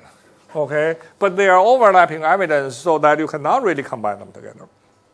Well, what I do is I just pick one of them. Which one? That's determined by the choice rule. That's a separate rule. Okay. The choice rule in this case is straightforward. I will just pick this one. Why? Because this number is bigger than this number. You may say, oh, this number is also bigger than this. That one doesn't count for this case. Okay? Because, because this number indicates which one has a higher evidential support, or which one is supported by more evidence. Whenever there is a confliction, and this confliction cannot be resolved by merge the two uh, adaptive system, should pick the one with more evidence behind it, no matter what is the frequency value. Okay? So, pretty simple. But another word, uh, application of choice rule is more complicated. That is, the confliction is not between these two anymore. It's not a contradiction anymore. It's this. The two subjects, they are not actually about the same term. They're two different terms. But the predicate are the same. Okay? It's kind of like you say rabbit is a type of bird and penguin is a type of bird. But uh, people say, why bother with that? Because they, they don't conflict with each other. They're talking about different things, yes. But they compete to what? To be the answer of this question.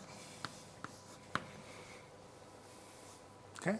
Previously, we say that the system can handle yes no question. That is, I give you a statement, you give me the truth value. In this case, the truth value is multi-valued, right? So I may ask the system this. If that's the case, then basically you see this choice rule actually uh, serving the role of the previous matching rule. It just pick an answer for a given question. If this is the question, okay, and these two are the answer where both of them is about S, I already said you pick the one with higher confidence value. Ignore this. Okay, if this is more evidence than whatever this one said, Okay, it's better justified than the other guy. But if it's a what question, then what you are you're facing is kind of like, as I said, I'm looking for a bird, or I'm looking for a a term in the extension of a bird, accurately speaking. Okay, and you know two of them, not like in the previous binary logic. In binary logic, I already said, if you have more than one conclusion, both uh, all of them are equally good. But here is a matter of degree. Clearly, you need to pick one. And as I said, this is robin, this is uh, penguin. Okay. And what is a good answer? Well, theoretically speaking, the best answer to this question will be provided by something of this truth value. Okay? Absolutely true. But you know that's impossible. Okay? This is impossible. So that, uh, so you, you, you say, uh, if I only talk about uh, allow two uh, digits after the decimal point, then you're looking for something like that. Uh, but you don't have that. Okay? Then you have to say which one is closer to that. Well, this one have a higher frequency, but this one have a higher confidence. In this case, both of them matters. Okay, think about it. You're looking for a, good example of bird. And this one is good in the sense that uh, it's a higher percent of evidence supported. And this one is good in the sense that it have more evidence. Uh, which one is better? Well, this is a place where you need a formula to actually combine those two numbers into one so you can compare them. Okay? Uh, and also there is a long story behind this formula, and this formula have very interesting property, but we don't have the time to talk about that. I will just show you the result. this is what I call expectation value.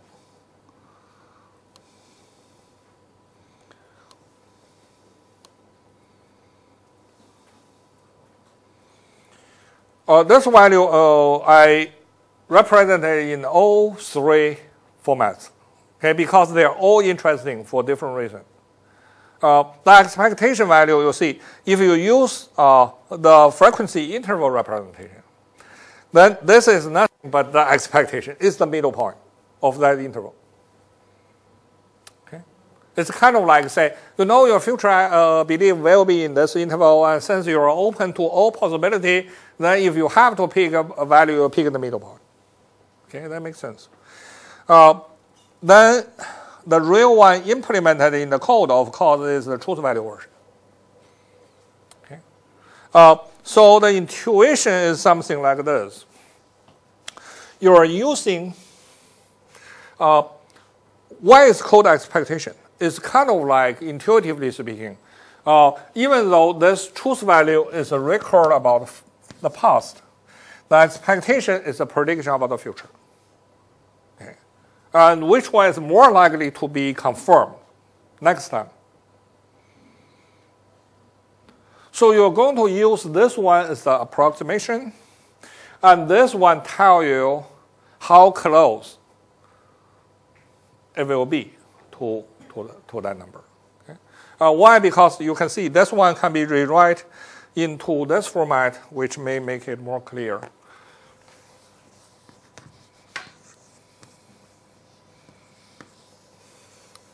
or we use 0.5.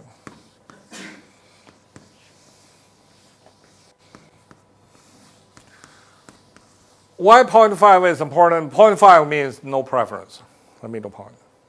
Okay? Uh, or if we put it in the, another way,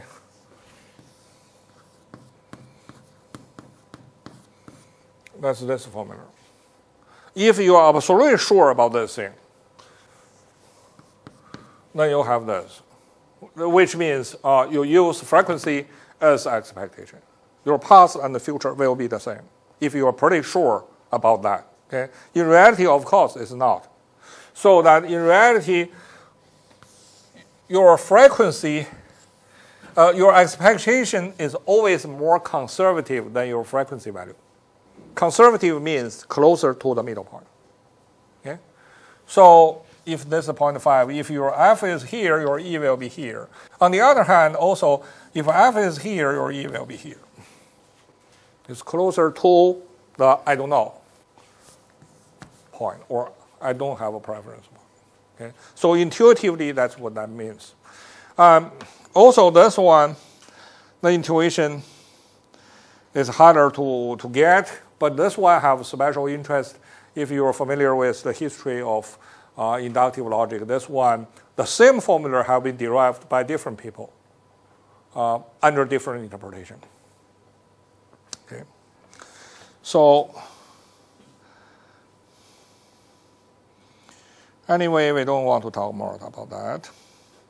And uh, I mentioned that this is related to uh, uh, the rule of succession and to lambda continuum of Carnap and so on.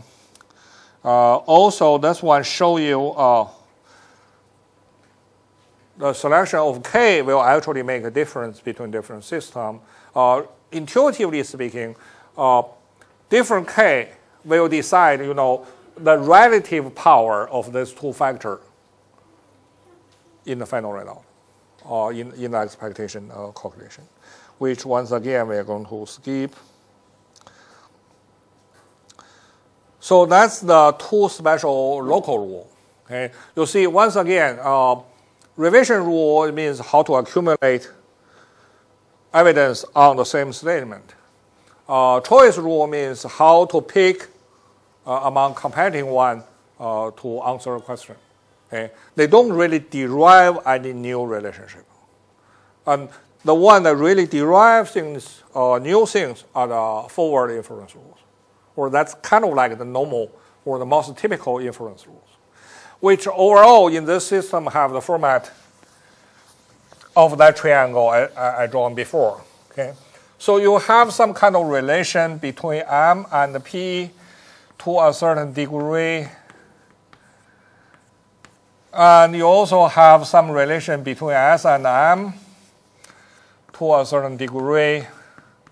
And now using M as the middle term, using Aristotle's terminology, we are going to be able to build some relation between S and P, which is true to a certain degree. But now it's not that simple because, because the direction may go either this way or this way, and the direction may go either this way or this way. And actually, the conclusion, you also have the scenario. Okay, because, well, you see, it's kind of symmetric. So in the following, we are going to introduce four different uh, forward inference rules corresponding to different combination. Okay? Uh, so this is just a different format talking about the same thing. And one of the biggest uh, problem, uh, which is still a controversy until today, is what's the theoretical foundation of this calculation? Okay. Many people, uh, or maybe I should not say many people, but several people in the past have kind of like my basic idea about this kind of logic. Okay? But they think they can somehow figure out a way to use probability theory to do that calculation. Uh, actually, I thought that myself at the very beginning. I tried to use probability theory several, for several years. Uh, later, I gave up. It's, uh, because of the reason I mentioned before. Not only they're not probability, furthermore, well, everyone agree they're not typical uh, probability. It's just many people think, even though they're not probability, they can be approximately taken to be probability. Okay, my conclusion now is stronger than that. It's not even approximately probability. It's something else. Okay? But it's related to probability theory for sure. Yes. Yes. Okay. So after uh, working on this for several years, now this is the result I settled down with. That is, I take this, all of them, as some kind of like extended Boolean value. Once again, you see Boolean value of this, right? And both of them are this. Okay? Uh, and also several other parameters also in this range. So I take this, well, of course, confidence cannot take the extreme value, but it doesn't really matter for this discussion. We, I take that as a limit, extreme. Okay? So basically, now the idea I, I established my truth value function is to start here, just like you see, I start from this logic and to do this logic here, I'm doing exactly the same thing. First, I think about what is the valid inference in binary situation. Okay? As soon as I get that, I get what? I get the boundary condition for the actual truth value function, which will fill in the middle thing by doing what? By extending the Boolean operator. What's the Boolean operator? Well, not and, and or, right? They are defined by truth table in the binary logic. And now I extend that, and also this actually not completely my work, and this kind of thing have been discussed in the literature, especially in the literature of fuzzy logic, for many years. Okay, they have the same need. They need to provide justification of their calculation. Then they think it can be handled as extended uh, Boolean operator. Okay, so uh, so the terminology they use is called a triangle norm and triangle conorm for this guy and this guy.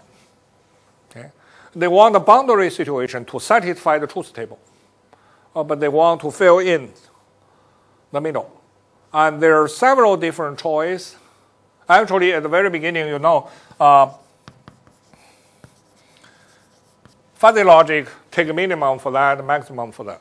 Okay, but that choice caused a whole whole whole, whole bunch of trouble, and uh, and then many people suggest something else, like for example, this is the pair I'm using, which actually very similar to probability under the assumption of conditional independence of the numbers involved.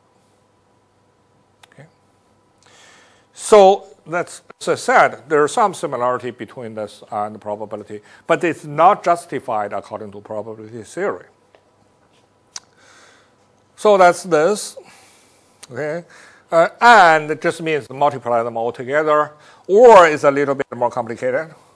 Okay. But uh, roughly speaking, the simplest situation uh, is nothing but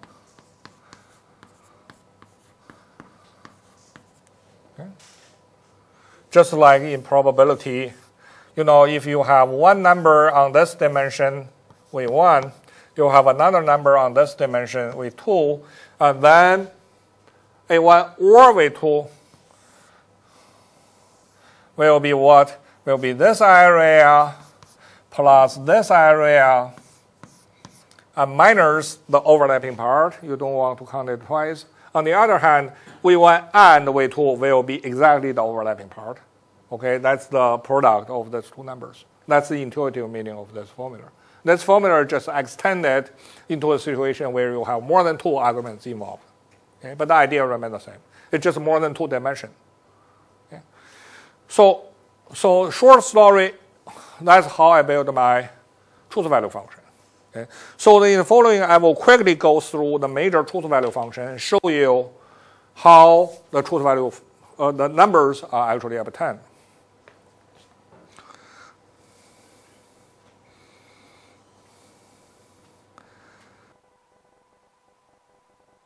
So-called basic syllogistic rules, which its base correspond to exactly this. Okay? So uh, what I'm doing is I don't really think about all possible. You see here you have two choices, here you have two choices, here you have two choices. And exactly speaking, you have eight different combinations. Okay? But to simplify the situation, I only talk about this one. The other way around, you just switch these two letters.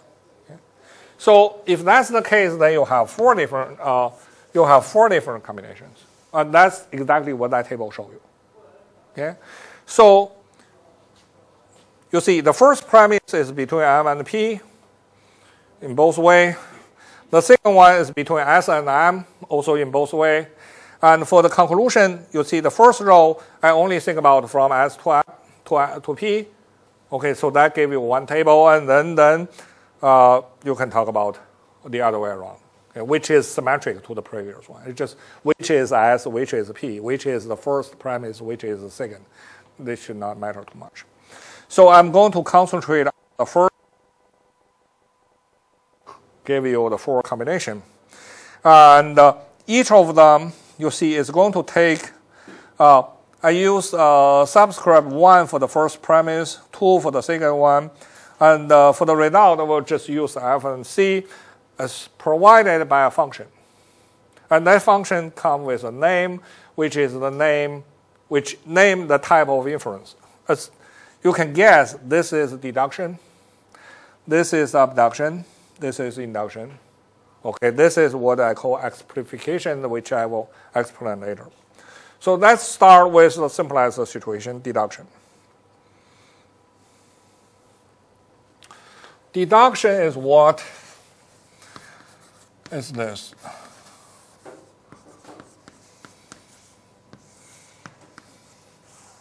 Okay, uh, also following the convention used in Aristotle's logic. Okay, uh, I always name the the one that contains the predicate of the conclusion as the first premise, or the major premise. Okay, uh, the one other one which contains the subject of the conclusion is the minor or second premise. That, that's the convention followed in the system. Okay, and this two are calculated by that function. So that function actually, actually speaking, are two formulas. It's a pair of formula. Okay, one of them will give you this, the other one give you this, but altogether I call it a function. Okay. Okay, what is this? This you see, actually, this one is nothing but the transitivity, right? the only inference rule based on transitivity in this logic. I will just expand that from binary to multi-value, also two-dimensional. But still, that rule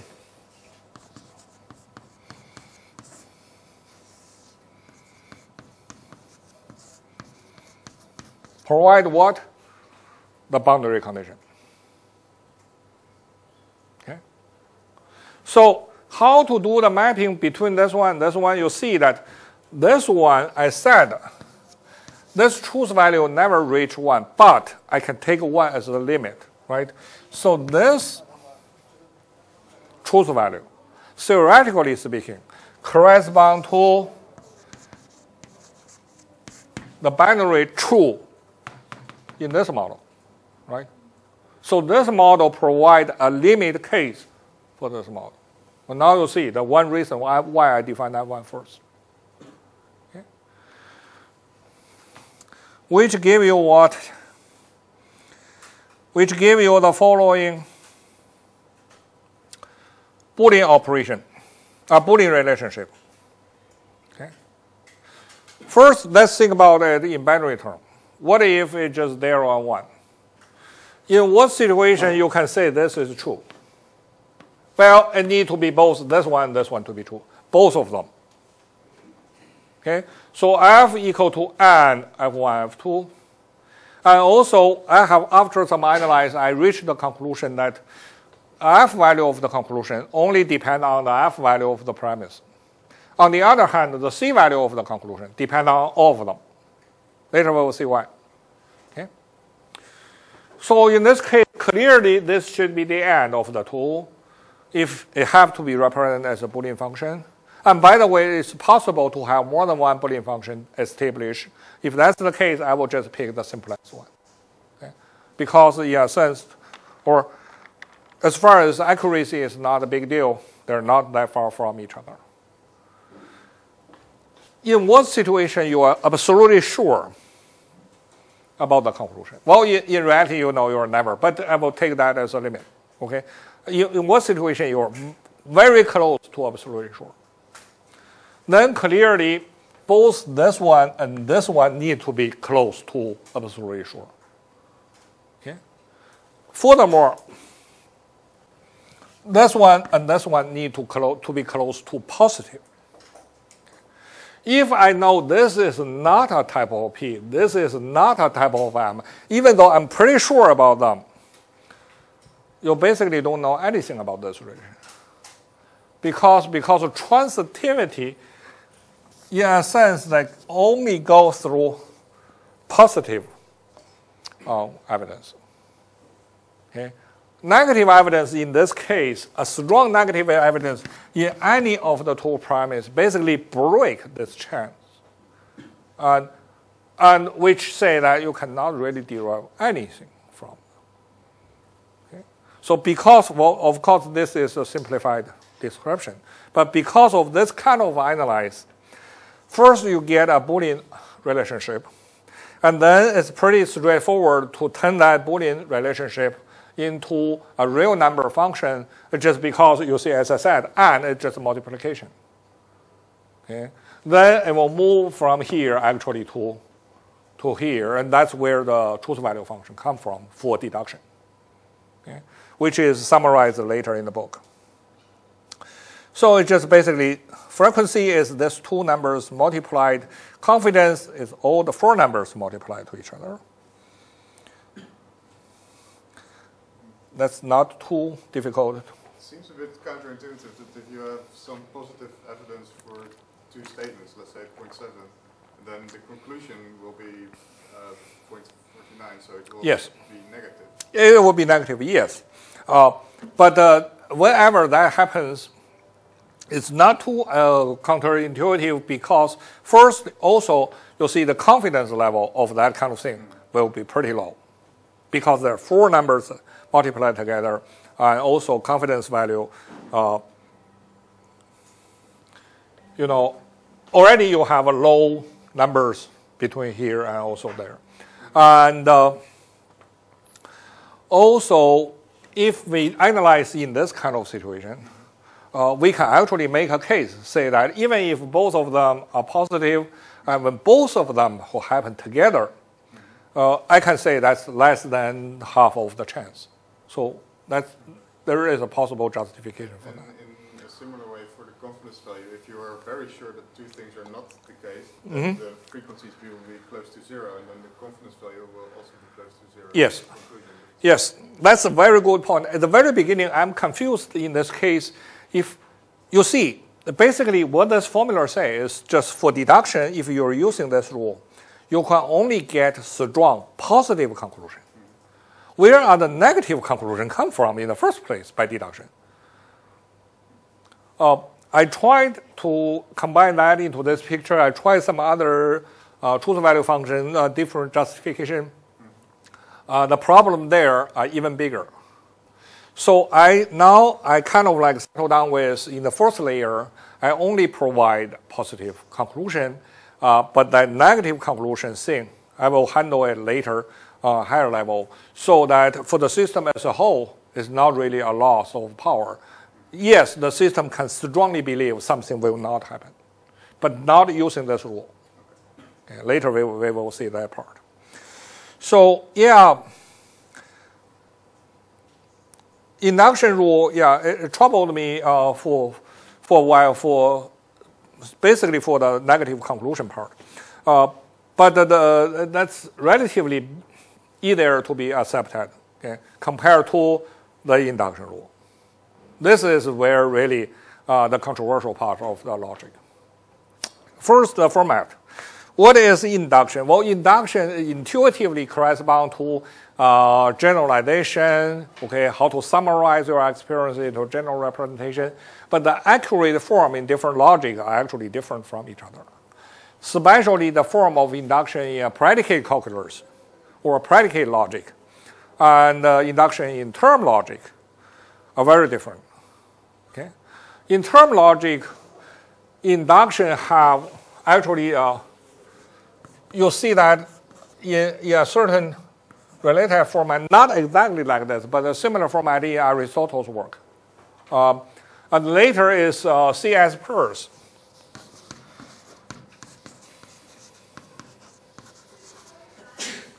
Who first introduced uh, the definition of induction and abduction in term logic in, in the format I'm using. Okay? Uh, but of course, uh, actually, I learned this about his work uh, at a later time. At the very beginning, actually, I tried to do this thing in set theory. Uh, later, I use uh, uh, terminology. But anyway, no matter where I come from, you see the pattern is this. The shared term as a common subject. And then the relation will be built between the predicate. Well, clearly there is a, a symmetric relation uh, the other way around, okay, which is also covered in the table. Uh, here, the, the situation is this. Let's say, uh, let's use the, the, the typical example I use in my talks, uh, again about the birds. Okay. Um, let's say swan can swim. Since I only use uh, nouns in, in, in, in the first layer, I just say swan is a kind of swimmer. And also is a kind of bird. Then the conclusion will be bird swim. Or birds are swimmers. Okay, again, let's forget about the singular, plural, that or tense, all the details in linguistics. Okay? If you check a uh, textbook in logic, every book will tell you this is a typical fallacy. Okay, it's called overgeneralization. Uh, what you see is one case or one special type, uh, instance of, of a certain type, uh, which has a certain property. How can you generalize to the whole class? Uh, that is, is invalid. Uh, many people have spent many years in inductive logic, and there, there are all kinds of troubles in, in their conclusion. Not to mention, in this case, the situation is even, mo- even more complicated because the premise also come with a truth value attached. Okay? So, what is my solution? Actually, this one directly come from the previous definition of what of evidence. You see, number one uh, thing that make this uh, logic can do induction, and can give it justification, is actually because of the semantics. You see, accurately speaking, what this one measures is not about how many birds in the world can actually swim. I don't know that. The system doesn't know that. It's evidential support. That's why I keep stressing what it measures is not the distance between this one and the reality, but how much evidence the system has accumulated to support it. And where is the evidence? For all inference rules, the evidence is nothing but the information provided by the premise. What that mean? That means in this rule, when you apply this rule, you basically assume you know nothing at all about this and this, except what is provided here. Okay? So if this is your only knowledge about this term, this term, and this term, what you can say about that, about that relation? Well, once again, we start with the extreme situation. What if all those things are Boolean? Okay. Then it will reduce it to the scenario of this logic, which say this. You'll see. We are talking about whether birds are swimmers. And uh, we're doing collecting information by comparing their extension and intension of this tool. And in this case, clearly, what we have as extension. Okay? So we know the truth value of this and this. And again, we assume binary situation. According to the previous definition, if this is true, this is also true, this is positive evidence, right? That's how evidence is defined. One piece of positive evidence. If this is true, this is false. That's one piece of negative evidence. That is, as far as Swan is concerned, okay, whether this is true or not. Then what? Then that directly gives us this. So you see that W plus and W minus in general is just real numbers between zero and the infinite, right? But here we are talking about at most as one piece. So if that's the case, then once again, for this rule, this two number will be in the interval between 0 and 1. So they can be handled as extended Boolean value. Okay? Uh, in this case, uh, should be the arrow between uh, guard and swimmer uh, two directed. Yes. Uh, but uh, I don't use two directed. I kind of like apply this rule twice. One in this order, one in the other order. But in this case, but uh, for this rule, it is uh, the same in both. Uh, Yes and no. Yes. Later you will see. I'm asking him. Yes. Uh, you see, uh, if you check the table, you'll see that indeed uh, these two things are produced altogether. Okay? Uh, whether they're the same or not, let's check the, the formula. But negative. You'll see, yes, positive evidence is symmetric. Negative, no. Okay?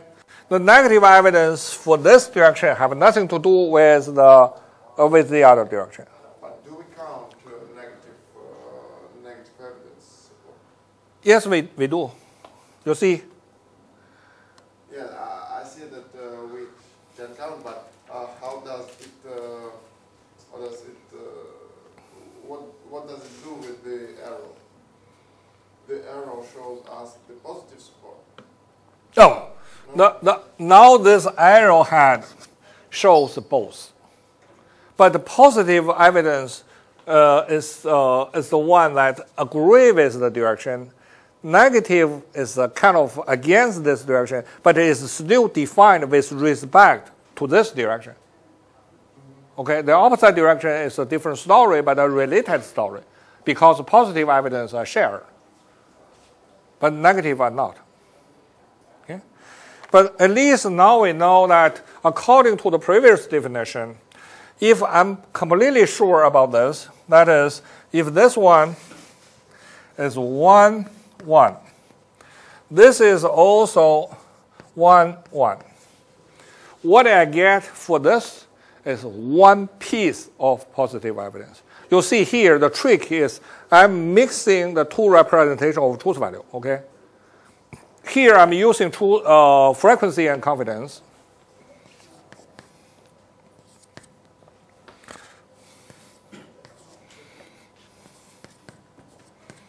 Here I'm using W. But the W can be converted into frequency and confidence uh, given the relationship. Okay? But the direct relation, uh, the direct conclusion is this. Okay? So if I have 1, 1 here, 1, 1 here, then I have W equal to W plus equal to 1. That is, Swan provide a perfect piece of evidence for the conclusion that birds swim. On the other hand, that's what this formula means. Okay? On the other hand, if all of them are still 1, but this is 0, you see, this still need to be 1. I'm sure it's not the case. If this one is 0, then you don't have evidence. It just means you don't know whether swine swim or not. It doesn't provide anything. Okay? You need to know it does not swim for this to be negative evidence. So that give you this. Once again, you replace and with multiplication, not, which I didn't mention, but it's just one minus, right? That's always uh, how you handle not in multi-value logic, no matter which, which system you use.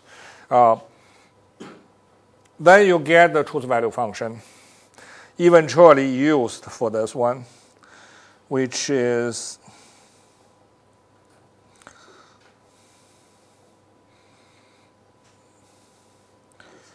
Mhm, uh, shouldn't uh, W plus plus uh, W minus, uh, po- W positive plus W negative uh-huh. uh, be equivalent to W? Yes. It just in this case, W minus equal to zero. Uh, but in those, uh, Uh, in the other situation, you have W equal to W minus equal to 1 and W plus equal to 0. In, in a binary situation. in formulas induction, doesn't keep. I, I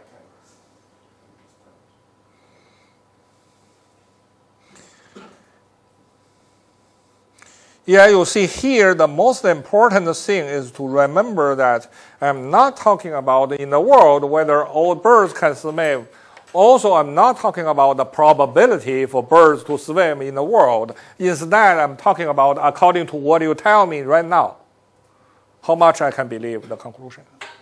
Okay? That's what the truth value means by definition. So that's kind of like the most important part uh, of this uh, truth value function set. Okay? Uh, that is, I try to solve the problem of induction by using a new semantic theory, meaning that I'm not talking about the world anymore, I'm talking about evidential support. Okay. Using that, we can avoid overgeneralization because you see, in a sense, I'm not really saying more than what you tell me. I'm represented in a different way. I'm saying that I tend to believe it, but my belief cannot be too strong because, uh, because I only have one piece of evidence. Okay? So, uh, yeah, the actual formula is summarized toward the end of the the, uh, the book. Uh, oh, yeah, oh, we also have a formula here. You see, these are the Boolean version I just showed you before. Uh, then if you convert it according to the relationship between truth value and uh, weight of evidence, uh, this is the actual one that used in the implementation. Okay, uh, which uh, some people still have a problem with. Uh, say, for example, why this one only depend on one of them? Well, I, I do have a justification for that. Uh, also, but we just don't have the time to talk about the detail, but I want to point out one thing. You see this confidence value?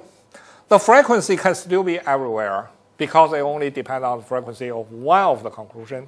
Because in this case, this one, this one actually play a different role with respect to the conclusion.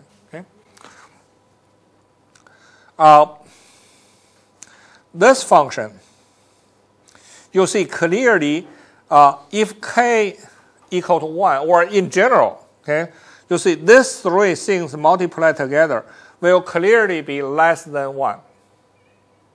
Okay. Will not even reach 1. Well, 1 is the limit. The same thing here. So the limit of this function is for uh, inductive inference. You always have for the conclusion you always have that. Especially if we are taking the current default value, k equal to 1, or accurately speaking, it will not reach that. Inductive conclusion, the confidence level cannot be more than 0.5, cannot reach 0.5. On the other hand, deductive conclusion, you see the upper bound is 1. So that's the answer to the traditional distinction. We always have, you know, everyone knows this. Uh, deductive, non-deductive inference is less certain than deductive inference. Everything else being the same. Okay. Here, what I'm uh, suggesting here is actually that uncertainty is on the second dimension. It's not about this one. Okay. This one can be anything. It can be one. No problem. It's just this one will be low, meaning that it's much more likely to be modified by future evidence compared to deductive conclusion. Okay. There are a bunch of other things we just simply don't have the time, uh, the time to talk about.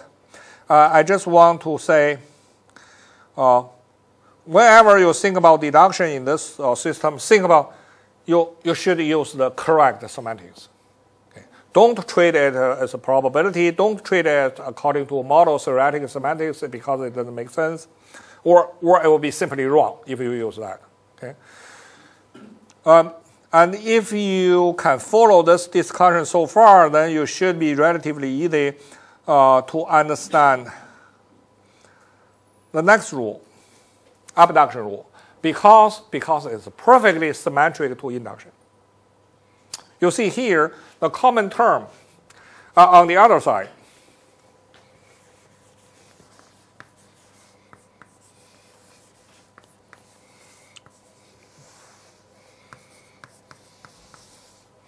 So this corresponds to the situation where you collect evidence for the conclusion from their intensions. Uh, induction is about extension. You compare their extension. You compare their instances to decide whether they are one of one can be used as the other. Here you compare their properties. And also, by the way, I should mention that before. The intuitive meaning of inheritance relation is this concept can be used as a special case of this. Or this one can be used as a generalization of this. Okay, the evidence is, is about to what degree that substitution is allowed or supported by evidence.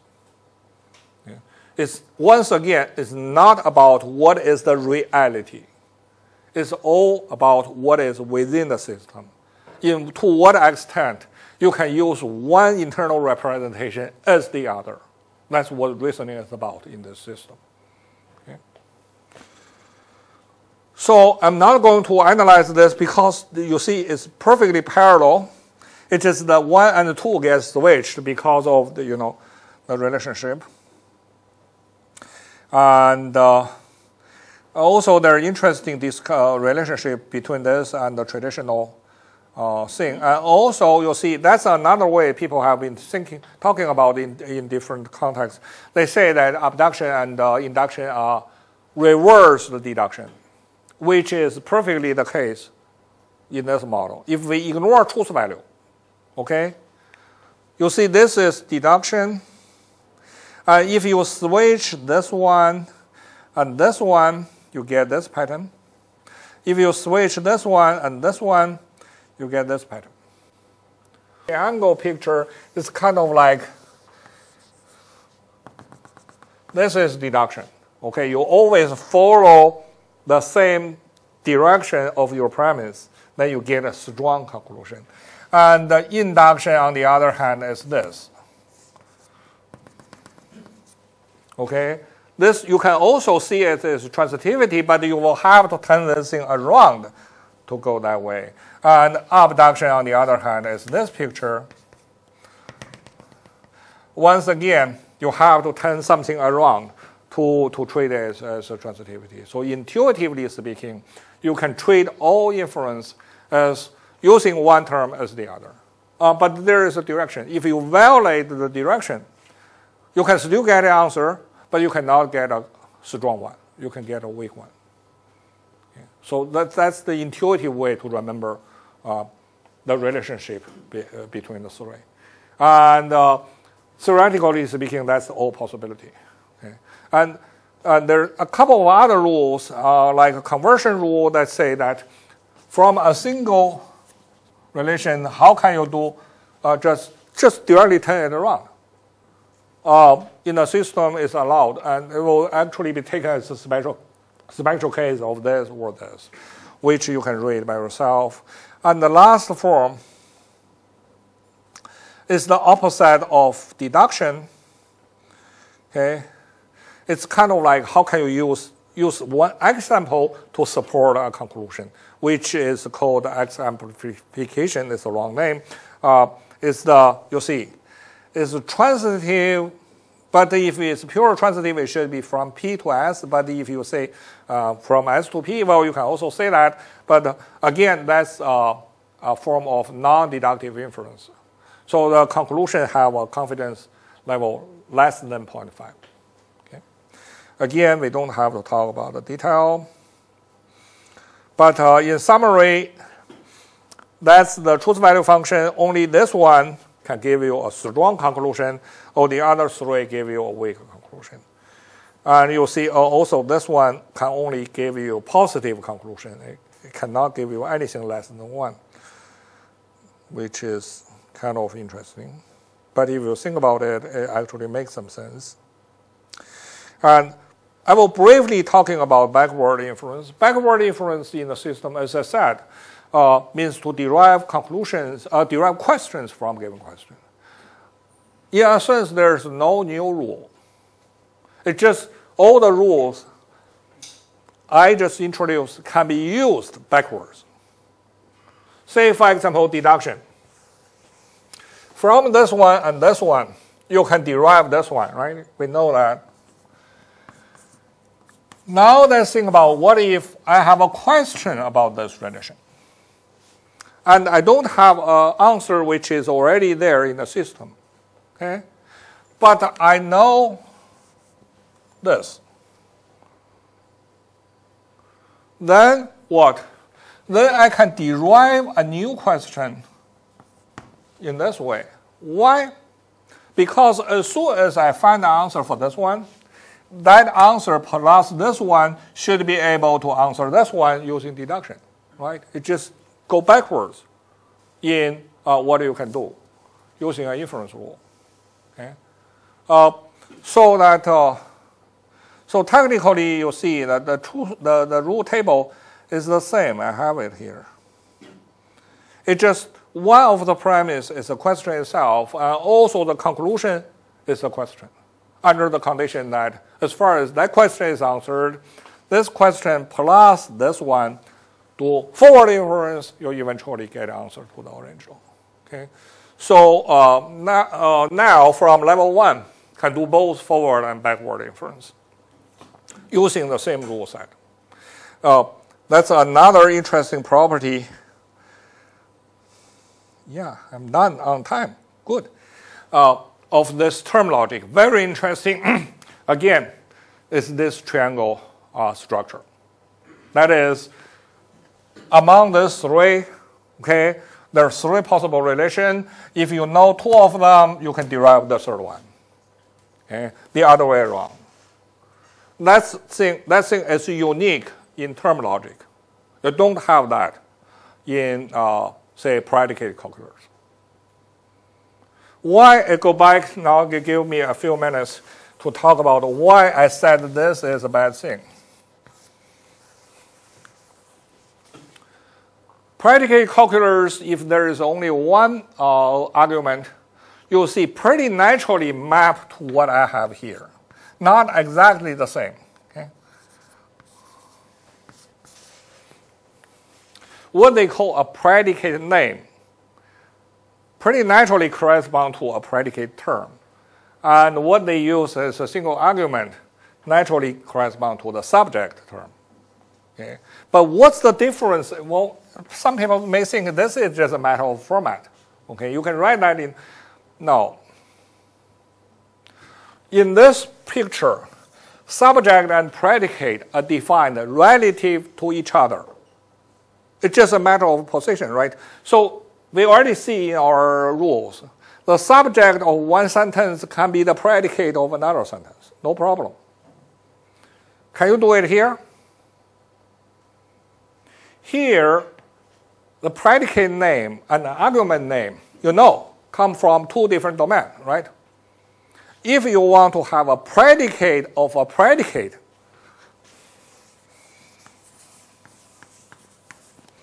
that's a higher order logic in predicate calculus.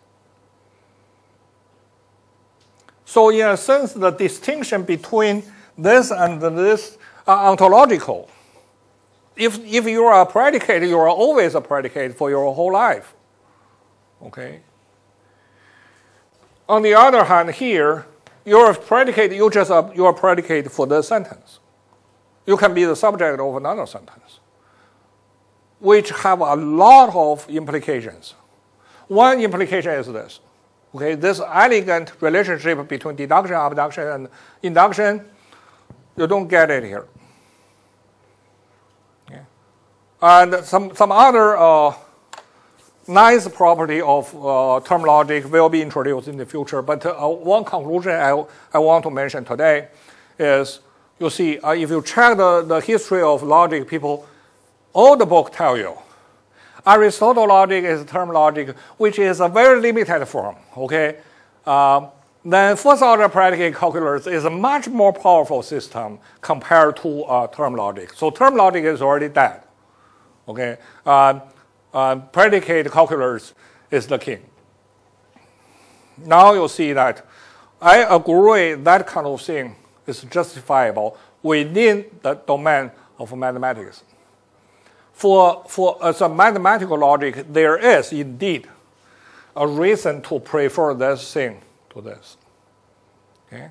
But for AGI, I want to make the claim, even though I haven't given you all the evidence. This is a much better choice than this. Okay? Because after all, the logic of cognition or intelligence have some fundamental difference from a mathematical logic or the logic of mathematics. Okay, once again, I'm going to repeat this again and again in the future with, with different evidence to support my conclusion. Okay? But roughly speaking, that is a whole complete now axiomatic logic, layer one, with the grammar rule, semantics, and uh, uh, inference rules. Okay. Uh, tomorrow I'm going to talk about if we don't build further, which will be left for next week. Tomorrow I'm talking about if we just only want to implement that in a computer system, then what's the corresponding memory structure and control mechanism for that to happen? Okay, okay that's all for today. Mm-hmm. If you're not hungry, okay, I have no problem to take some question. So could you, I may have missed this, but could you schematically uh,